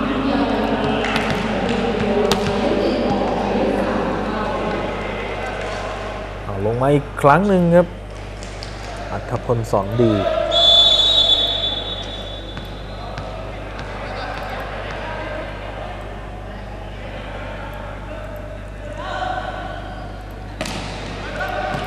วิลลิคราวนี้เสิร์ฟไม่หนักแต่ว่าทิศทางเยี่ยมอ้าวพยายามจะโจมตีเร็วยังรองได้แล้วคู่สิทธิ์อื้อหือบอลยังอยู่ครับแล้วครับหัวเสาลักษณะต้องแก้ไขแต่ว่าทำได้ดีครับอัธพล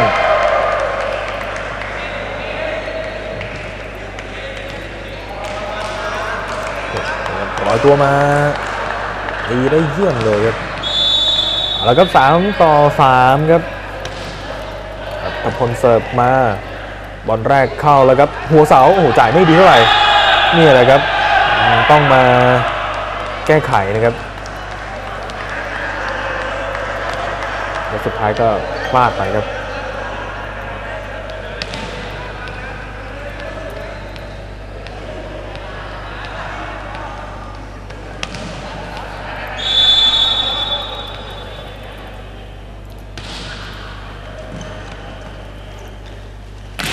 โอ้โหดูครับยัง ยื้อได้ครับ แล้วจังหวะนี้ติดบล็อกหาโอกาสอีกทีครับกรามคำแหงจ่ายให้จีรศักดิ์ยังรองได้เดี๋ยวจะไปหาจีรศักดิ์อีกทีหรือเปล่า ปรับเป็นเล่นบอลสั้นอ้าวยังดักได้ครับ มาดู 3 เมตรหยอดโอ้โหมันสั้นเกินไปครับโอ้จังหวะหยอดของยี่สิบเออเป็นอนุชพรมจันทร์นะครับขึ้น โอ้โหหยอด นิดเดียวครับ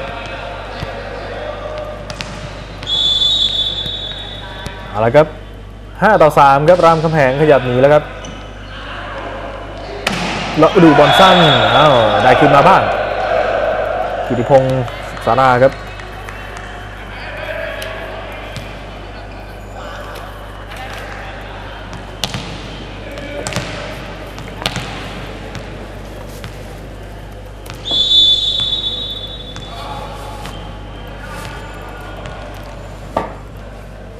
4ต่อ5ครับบอลเสิร์ฟกันพัฒจีมาอัธพลเปิดบอลแรก ไม่ดีเท่าไหร่ต้องแก้ไขเลยครับ แต่ว่าจ่ายมาให้จีรศักดิ์ได้ครับโอ้โหตีได้มันมากครับลูกนี้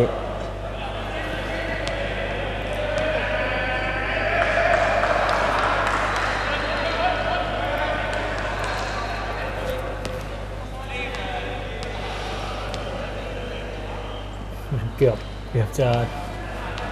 สิร์ฟครับถ้าเสิร์ฟผิดนี้ก็เสียแต้มเลยนะครับทศพรครับเสิร์ฟบอลแรกมาครับแล้วจังหวะสั้นลูกนี้ หน้าบล็อกดีครับทางฝั่งรามคำแหงเอาไปเซตพลาดครับโอ้โหอ่าเสียดายครับ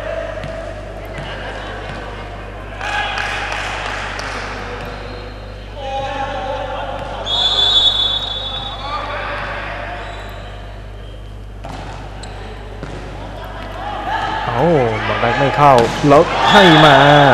โอ้จังหวะนี้ทัชบล็อกครับนิสันนี่ครับจังหวะขึ้นตี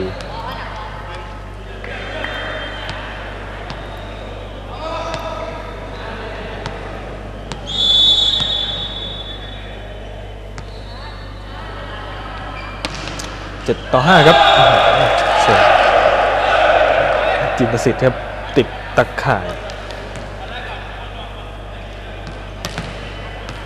จันทสิทธิ์นะครับที่เสิร์ฟเมื่อสักครู่ เอาครับ6ต่อ7ครับเสิร์ฟของภูสิทธิ์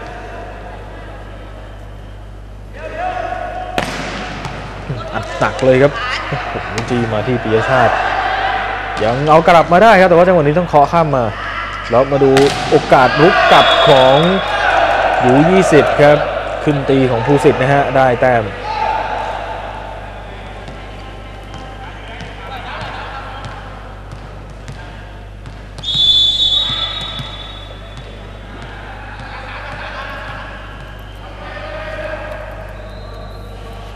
อเจ็ดครับโอ้เสิร์ฟแรงครับออกไปครับจังหวะของภูสิทธิ์เอาละครับเป็นรามคำแหงครับขยับขึ้นไป 8 ต่อ7เวลานอกทางเทคนิคครั้งแรกครับ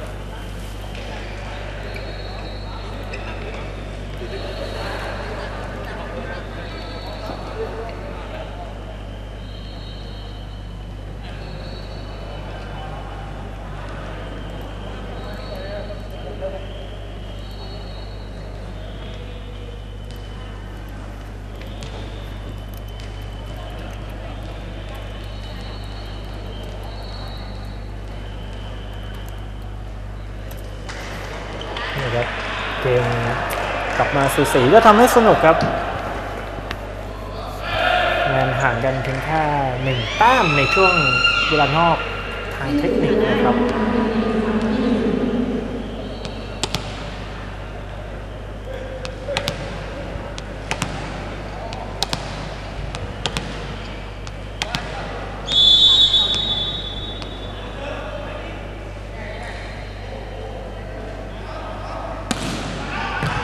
ครับบอลแรก ไม่มาแต่ว่าจังหวะแก้ของการเซตนี้ยอดเยี่ยมครับ โอ้งเซตแล้วเพื่อนเล่นต่อได้ครับ อนุษนี่ขึ้นตีหนักๆนะบล็อกลำบากเลยครับสิวัตรแปดต่อแปดครับ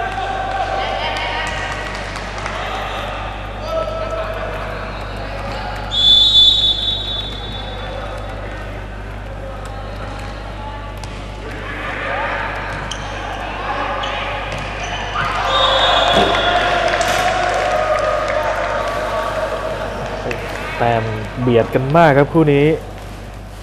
รามคำแหงขยับขึ้นไปอีกครั้งครับ 9 ต่อ 8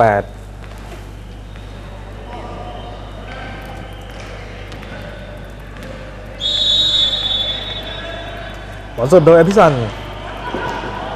สดดีครับแล้วก็บุญยฤทธิ์ยังยกมาให้ได้ ยังติดแล้วก็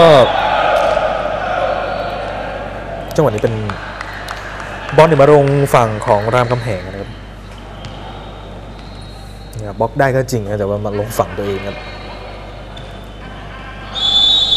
กาวเท่าแล้วครับ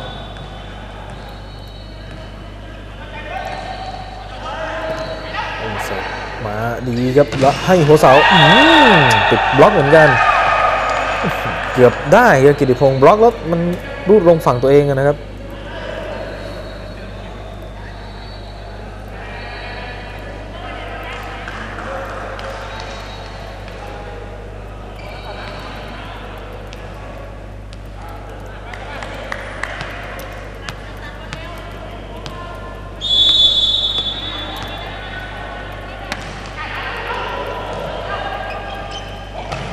โอ้โห ยัง ได้ครับ ดูหัวเสาอีกทีครับหือคราวนี้ ไม่เหลือเยอะกันตพัฒน์โอ้โหหนักเหลือเกินครับมาสองช็อตดูจังหวะของกันตพัฒน์ท้ายเลยตีตีบล็อกลงไปเลยครับ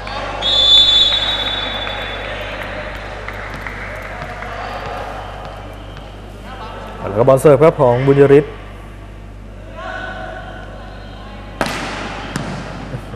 ช้ได้ครับนี่ครับบอลสั้นโอ้โหแหม่บล็อกเต็มเต็มเลยครับกิติพงศ์สุขสารา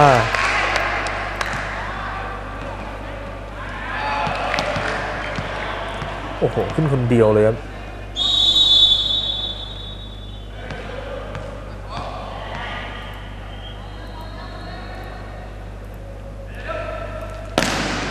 อืมคราวนี้เบลลิสน้ำหนักแรงเกินครับ หลุดออกไปโอ้โหเซตนี้นี่น่าสนใจมาก ๆ เลยครับว่าจะออกมาแบบไหนครับมาดูจังหวะของรามคำแพงบ้างครับแล้วคนเสิร์ฟมาบริสเซตให้มาที่ภูสิทธิ์คราวนี้ก็ไม่พลาดแล้วครับ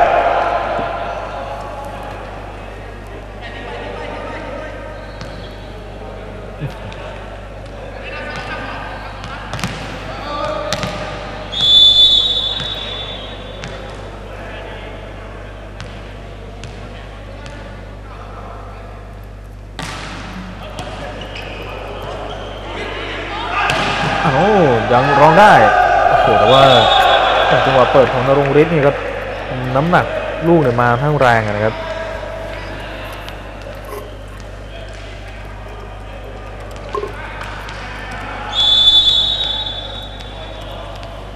12ต่อ12ครับมิสคอนเสิร์ฟบอลแรกมาดีครับแล้วตีสิบครับตีออกไปเองครับลูกนี้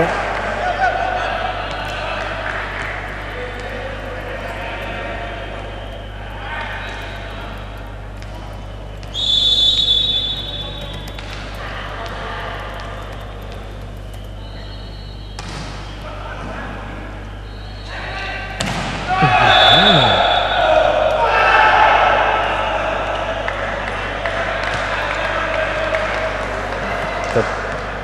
จิตจั งหวะนี้เอาได้นะครับโอ้สำหรับคุณยี่สิบครับเอาละครับเสิร์ฟของกิติพงศ์บอลแรกยังเข้าครับแล้วเล่นบอลสั้นโอ้โหแหมจี้มาน่าจะโดนหน้าครับสุรกิติพงศ์ครับ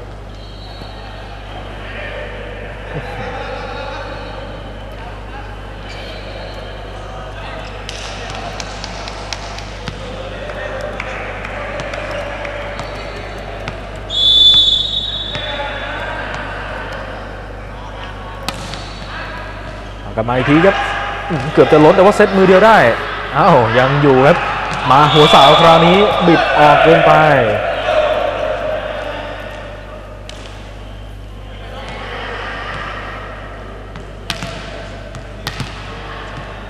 14เท่ากันแล้วครับผู้สิเสิร์ฟกัปตันทีมนะครับคนนี้ 184เซนติเมตรแล้วเสิร์ฟมา ยังนัดขึ้นมาได้จ่ายมาหัวเสาของจิรศักดิ์โอ้วันนี้ top form จริงๆครับจิรศักดิ์ถือว่าทำได้ดีเลยทีเดียวครับ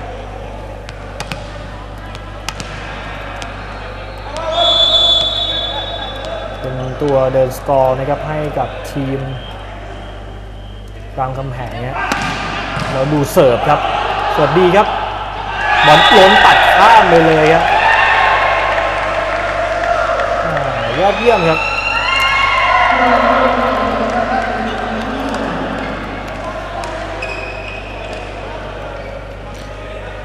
กลายเป็นรามคำแพงนะครับที่ขึ้นไปแตะแต้มที่ 16 ก่อนครับก็ถือว่าเป็นเวลานอกทางเทคนิคครั้งที่2นะครับจะได้มีโอกาสได้พักเบรกเกมด้วยครับมีเวลาหายใจหายช่อหายคอกันหน่อยครับเพราะว่าเล่นบีกันเนี่ยแต้มต่อแต้มนี่ก็ ทิ้งกันไม่ห่างเลยครับ เดี๋ยวต้องดูว่ารามคำแหงจะฉีกหนีออกไปได้หรือเปล่านะครับ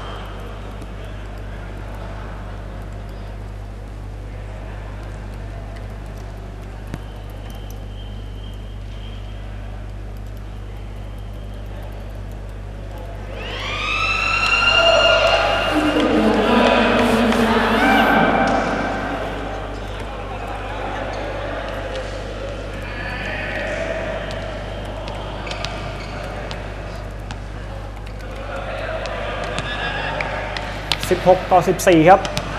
ลุยต่อฮะกิตศักดิ์เสิร์ฟยาวๆครับช่วงนี้อืมเยอะเลยดี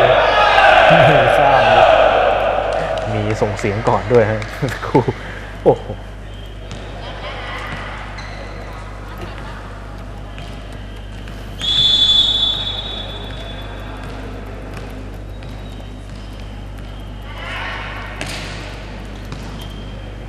ครับมาดูของรามคำแหงจังหวะนี้เกือบจะขุดกันขึ้นมาได้ครับโอ้โหเอาละครับอัธพลสอมดีครับเซตนี้นี่ถือว่าเล่นได้เยอะมากขึ้นนะลงสนามได้ต่อเนื่องครับ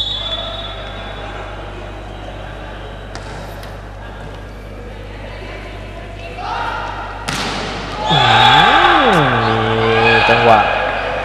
พลาดเหมือนกันครับจังหวะขึ้นตีของกันตะ ฒน์ครับ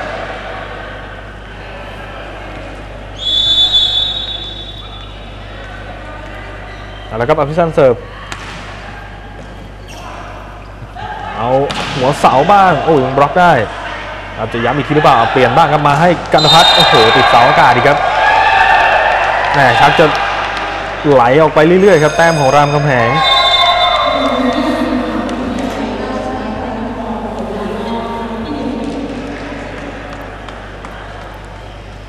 ต้องขอเวลานอกนะครับ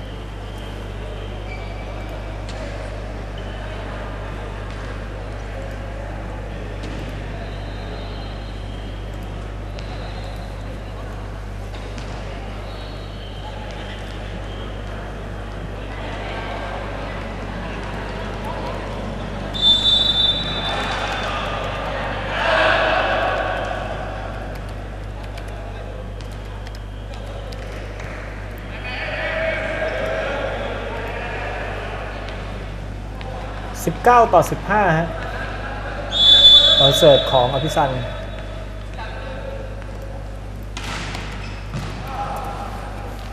เดี๋ยวอ่าจอนี้อ้าวเหนียวครับบอลสามสีไปได้นะฮะพยายามใช้เท้าเตะขึ้นมาครับ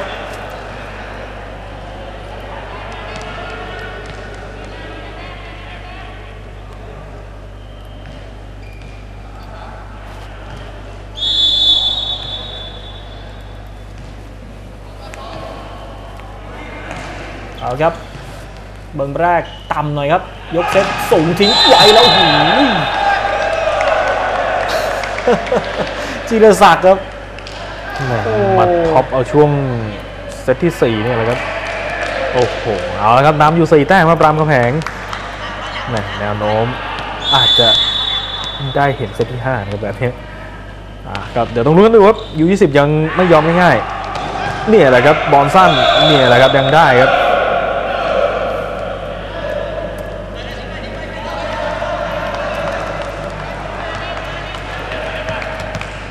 17 ต่อ 20 ครับ 3 คะแนน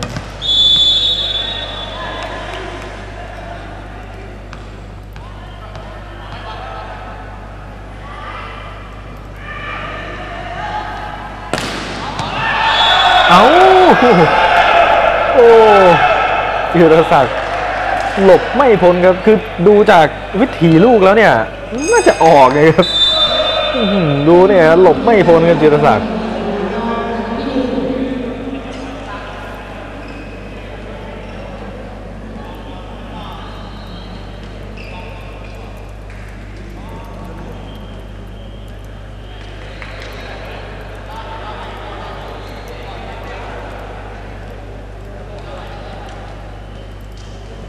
เป็นเวลานอกของรามคำแหงครับ ถูกจี้มา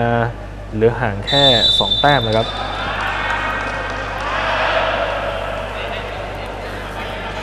จะถ้าเป็น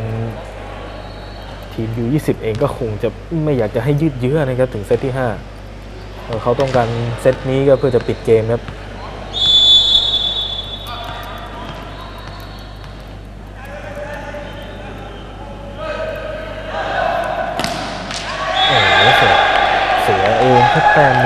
จะบุรีรัมย์เนี่ยผ่อนการเสิร์ฟลงไปเยอะครับ ไม่ได้เน้นหนักเลยครับ เอาเน้นข้ามไปก่อนครับแต่คราวนี้ไม่ผ่านตะข่าย21 ต่อ 18 ครับ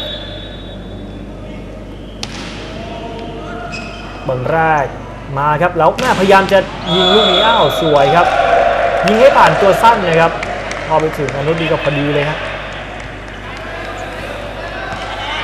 นี่ครับยูริเซตให้ครับ ก็เป็นกัปตันทีมนะครับผู้สิทธิ์ที่ตีเมื่อสักครู่ไหลขึ้นมาครับ 19 ต่อ 21ดูจังหวะเสิร์ฟของกันตพัฒน์เอาครับมาครับ เป็นจังหวะนี้เอาออกครับ โอ้โหจิรศักดิ์มารายแดงครับเอาครับเหลือแต้มเดียวแล้วครับอยู่20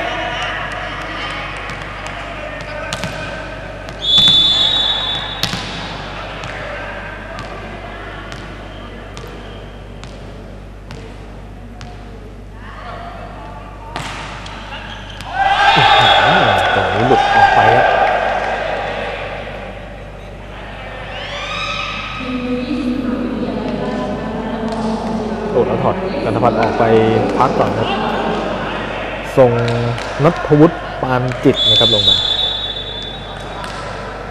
บอลเสิร์ฟโดยพุทธพร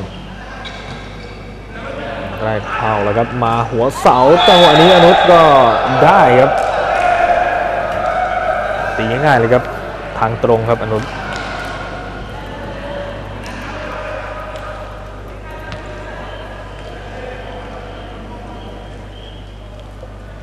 เสิร์ฟของ กิติพงศ์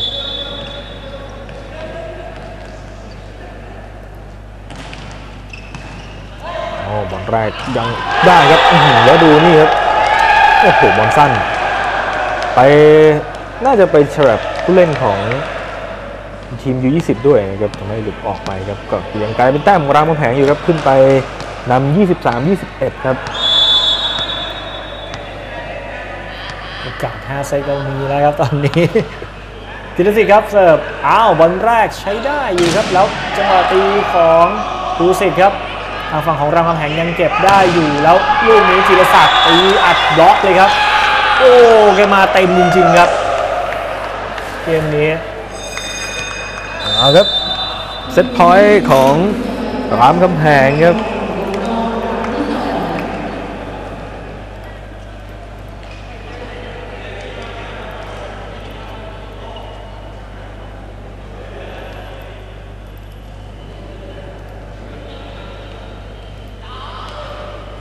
อยู่แมตช์ พอยต์แล้วนะครับอ่า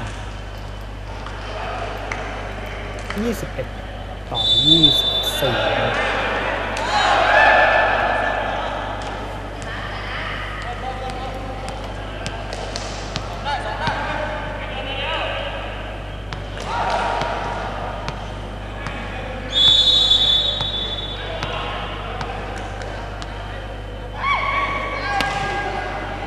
อาครับบอลแรก จังหวะสั้นลูกโอ้สะบัดเร็วเลยครับฉับมงคล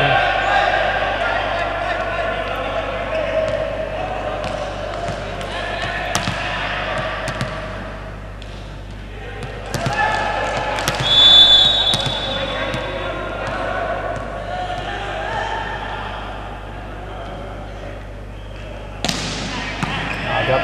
บอลแรกเข้าครับ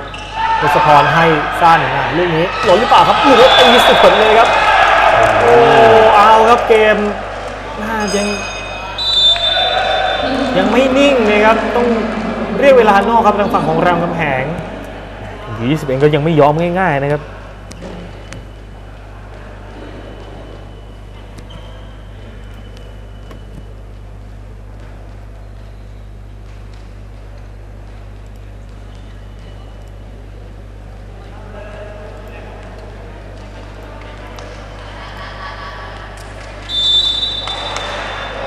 แต้มที่แตกต่างครับเอาครับรามคำแหงต้องการหนึ่งแต้มเพื่อปิดเซตครับ อยู่ 20หนึ่งแต้มเพื่อเสมอเดี๋ยวไปยื้อกันต่อนะครับในเซตที่5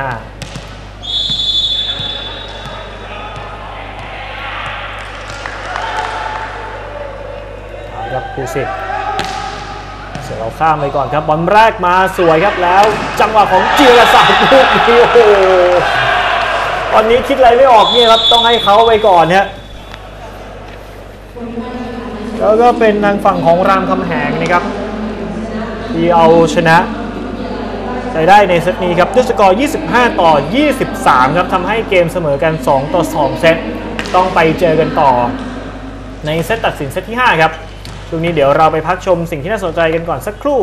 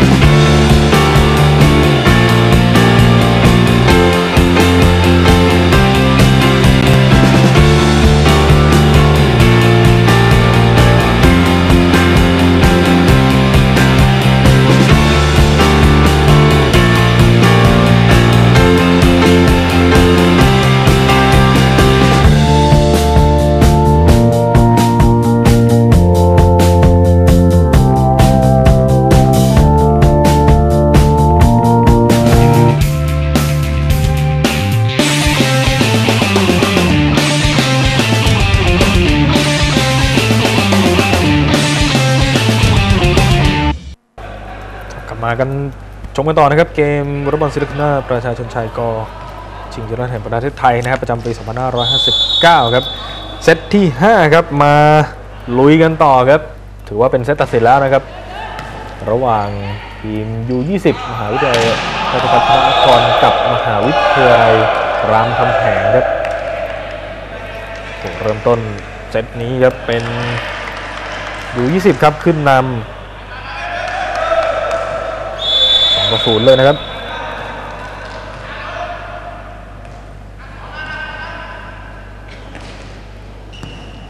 บอลแรกต่ำครับโอ้โหตัวเซต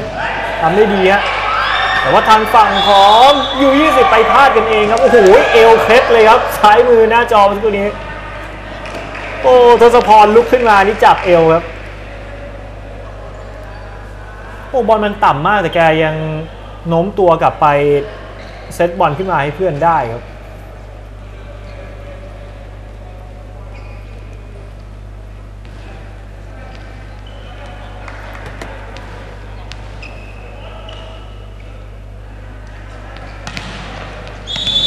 ปลายทางอยู่ที่ 15 นะครับสำหรับเซตนี้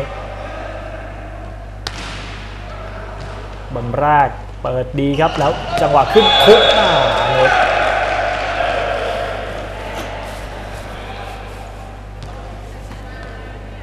นี่ครับอืม บล็อกนี้ห่างไปหน่อยครับ ไปพะวงตัวสั้นนะฮะผู้สิทธิ์ครับ เดี๋ยวดูจังหวะเสิร์ฟว่าจะเสี่ยงหรือเปล่า 50 50 ครับบอลหน่วยนี้แล้วอุ้ยสั้นลูกนี้ เปิดหน้ามือเยอะไปหรือเปล่าครับอ่าพยายามขอ challenge นะแต่ว่ารายการนี้ไม่มีนะครับไม่มี challenge นะฮะเพราะตอนแรกเห็นว่าจะนำ แท็บเล็ตมาทดสอบนะครับก่อนใช้ใน World Grand Prix กับรายการนี้เดี๋ยวต้องดูครับว่าฝ่ายจัดจะมีการเตรียมาหรือเปล่า เพราะว่าก่อนที่จะใช้จริงในเวอร์กลังปีเนี่ยสนามสุดท้ายที่ประเทศไทย ก็ต้องมีการทดสอบระบบนะครับคุณอ๋อมธนสินแก้วนึงก็ได้แจ้งเข้ามานะครับว่าอาจจะมีการทดสอบแต่ว่าไม่เต็มรูปแบบนะครับ น่าจะเป็นเพียงแค่เป็น e-score sheet กับแท็บเล็ตนะครับ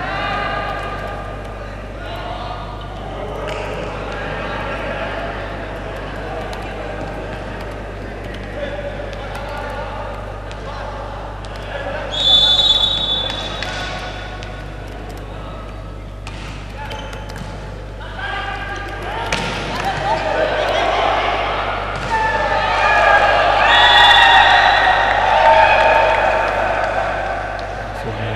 ในเก มนี้ครับเป็นแต้มของรามคำแหงครับเมื่อสักครู่ ก็กลับมาพลิกนำบ้างครับอขออภัยครับยังตามอยู่นะครับ3ต่อ4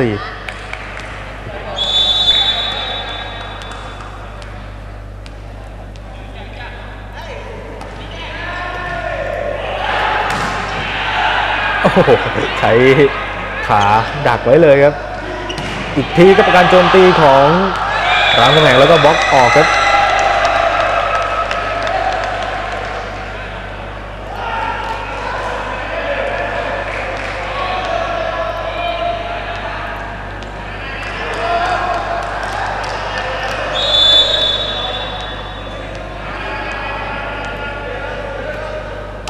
แล้วก็บอลเสิร์ฟอ้าวคราวนี้ก็เสิร์ฟสั้นเกินไปครับบอลติดตะข่าย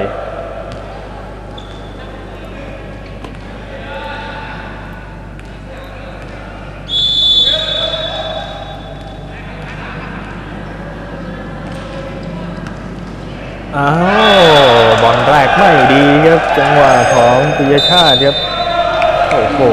กลายเป็นเสีย ง่ายเกินไปครับทีมยู20ขยับหนีไปเป็น 6 ต่อ 4 ครับนี่ต้องขอโทษเพื่อนหน่อยครับปิยชาติ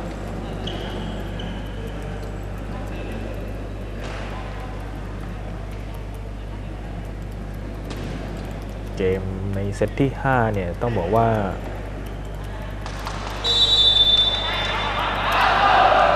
เกมจะเดินเร็วนะครับ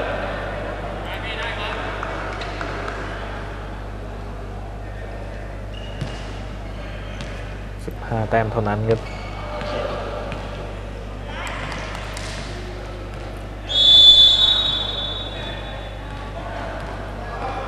แล้วครับเสิร์ฟของอนุชบอลแรกไม่เข้า โอ้โห ต้องแก้ไขครับ ยังไม่ได้ครับดิสันคือกะวัดใจเลยนะครับ ขึ้นตีแบบนี้ครับแต่บอลเนี่ยไปติดขอบตะข่ายครับ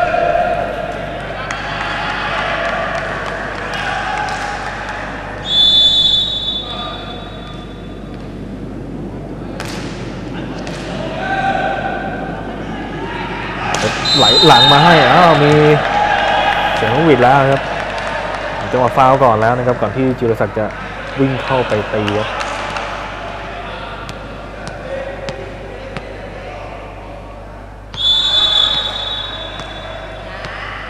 มาดูจังหวะเสิร์ฟบ้างครับจันทสิทธิ์อื้อหือบอลแรกไม่ดีครับต้องซีบอลข้ามมาเอาละครับโอกาสบุกของรามคำแหงติดล็อกแล้วอื้อหือ บล็อกลงนะครับโอ้โหผู้ตัดสินให้ทีมยู20ได้ครับ ดูครับว่าก็ผู้ตัดสินมองว่าลงนะครับ อัตพลเช็คพลาดไปหน่อยครับ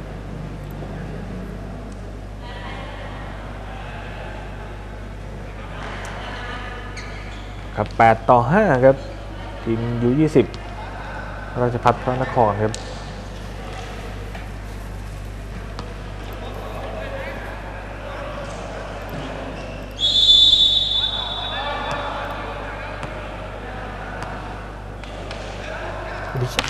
กิติอ่ากิติพงเสิร์ฟครับครับบอลเซตมาจังหวะนี้ตีเอาทัชเลยครับอภิสันโอ้โหชัดเจนครับ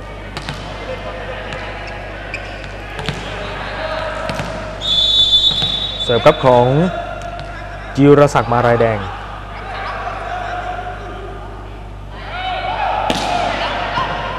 เสิร์ฟมายังงัดมาได้ครับแต่ว่า ล้นมาออกฝั่งของรามคำแหงครับ จังหวะรับของนรงฤทธิ์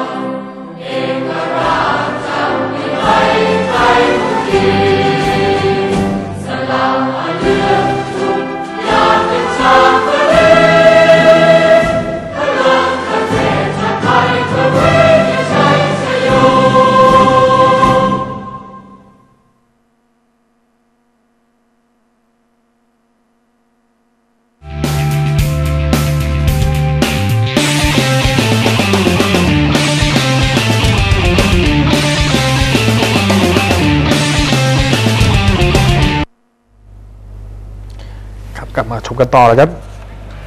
ในช่วงเซตที่ 5 ครับยู20ราชพัฒพนครครับนำอยู่ 10 ต่อ8จังหวะนี้ผู้สิทธิ์ครับฟาวแล้วครับ ก็ยังคงคู่ขี้สูสีอยู่นะครับ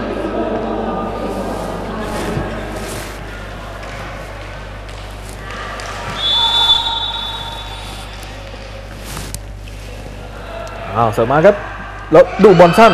เกือบจะเสียเอาลยครับยังเอากลับมาได้แล้วมาหัวเสาให้กับภูสิทธิ์โอ้โหคราวนี้ตีมุมตรงเนี่ยเลยครับอาจจะสงสัยหรือเปล่าว่าออกเลยทางฝั่งของรามคำแหงนะครับก็สำหรับท่านใดนะครับ จะติดตามชมรายการเดินหน้าประเทศไทยนะฮะก็สามารถหนุนหน้าจอนะครับไปที่สถานีวิทยุ โทรทัศน์กองทัพบกช่อง 5 นะครับ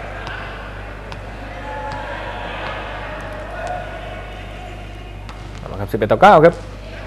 ยู20 ราชพัฒนครนำอยู่ แล้วจังหวะนี้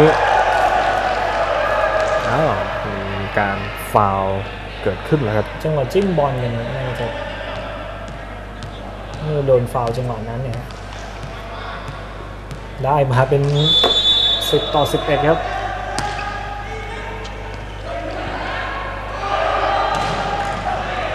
เอายังรองมาได้ครับดูแต่ต้องเล่นจังหวะแก้ไขแล้วครับเรามาดูโอกาสบุกของยู20อู้ยังอยู่ครับรามคำแหงจิรศักดิ์ย้อนคืนฉลาดแล้วหลงครับเอาครับมาเท่ากันนี่ครับ11ต่อ11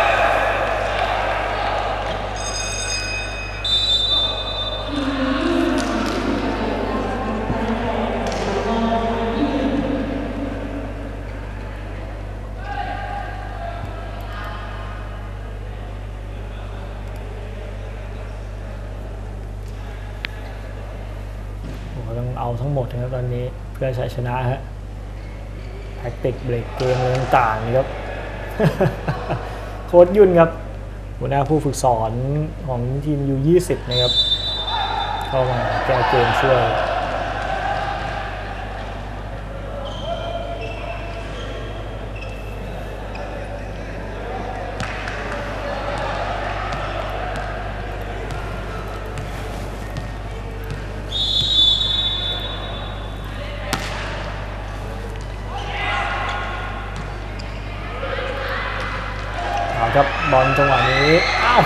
โอ้เล่นท่ายากครับ ฟรีข้ามไปก่อนครับทางฝั่งของ U20 ได้บุกบอลสั้นครับลูกนี้เปียชาตินี่เก็บได้แล้วแต่ว่าบอลมันต่ำไปครับ เพื่อนจะเล่นต่อก็ลำบากแล้วครั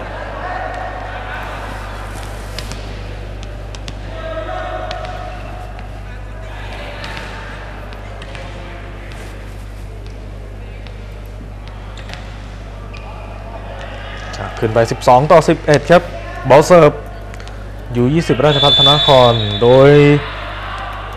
ภูสิทธิ์พลนรินทร์เสิร์ฟดีใช้ได้ครับ แต่ว่ายังงัดกลับมาได้โอ้โหจังหวะนี้ต้องเคาะข้ามมาแล้วมันมีโอกาสบุกของ U20 บ้างอื้อหือได้ครับ โอ้จี้ไปที่ทางอภิสันนะครับ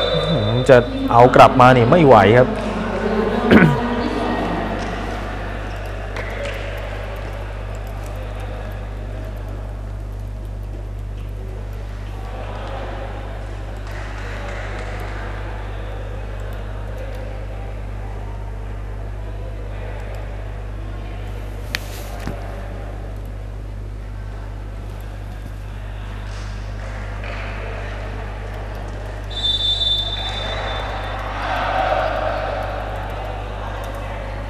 ช่วงปลายเซตครับ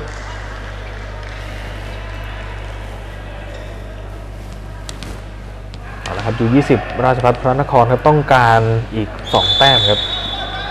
จะทำได้ไหมครับ เสิร์ฟของผู้สิทธิ์อัดหนักเลยครับผู้สิทธิ์แต่ว่าติดตะข่ายโอ้โหยังขยับขึ้นมาได้อีกหนึ่งครั้งครับรามคำแหงครับ 12 13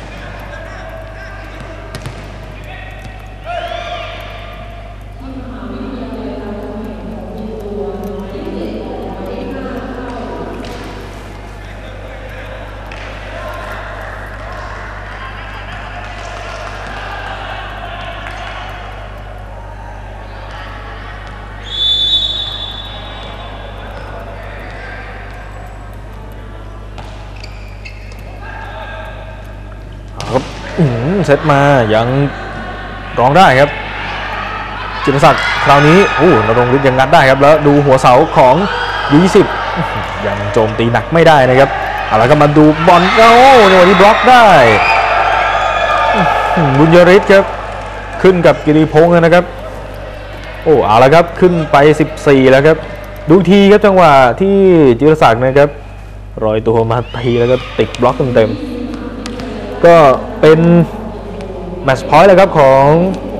U20 ราชภัฏพระนครบอลเข้าครับมาจังหวะนี้ติดบล็อกแล้วจบเลยครับ โอ้บุญยริศมาบล็อกในแต้มสุดท้ายครับ โอ้โหดูกันถาว่าทำได้ครับ ก็สามารถ เก็บชัยชนะในเซต ที่ 5 ครับ ก็ทำได้ยอดเยี่ยมครับชนะได้ 3 ต่อ 2 นะครับ เป็นเกมที่สนุกมากครับเซตสุดท้ายเนี่ยชนะไป 15 ต่อ 12 นะครับก็ไล่ตามสกอร์เลยครับ 26 24 21 25 25 17 23 25 และ 15 ต่อ 12 นะครับ ก็ถือว่าเป็นเกมที่พวกเขาสู้ได้สนุกและตื่นเต้นมาก ๆ นะครับ แล้วก็ชนะเป็นเกมที่ 2 ใน รอบแรกแล้วครับมีลุ้นเข้าสู่รอบตัดเชือกเหมือนกันนะครับสำหรับทีม U20 มหาวิทยาลัยราชภัฏพระนครครับก็เดี๋ยวช่งนี้เรา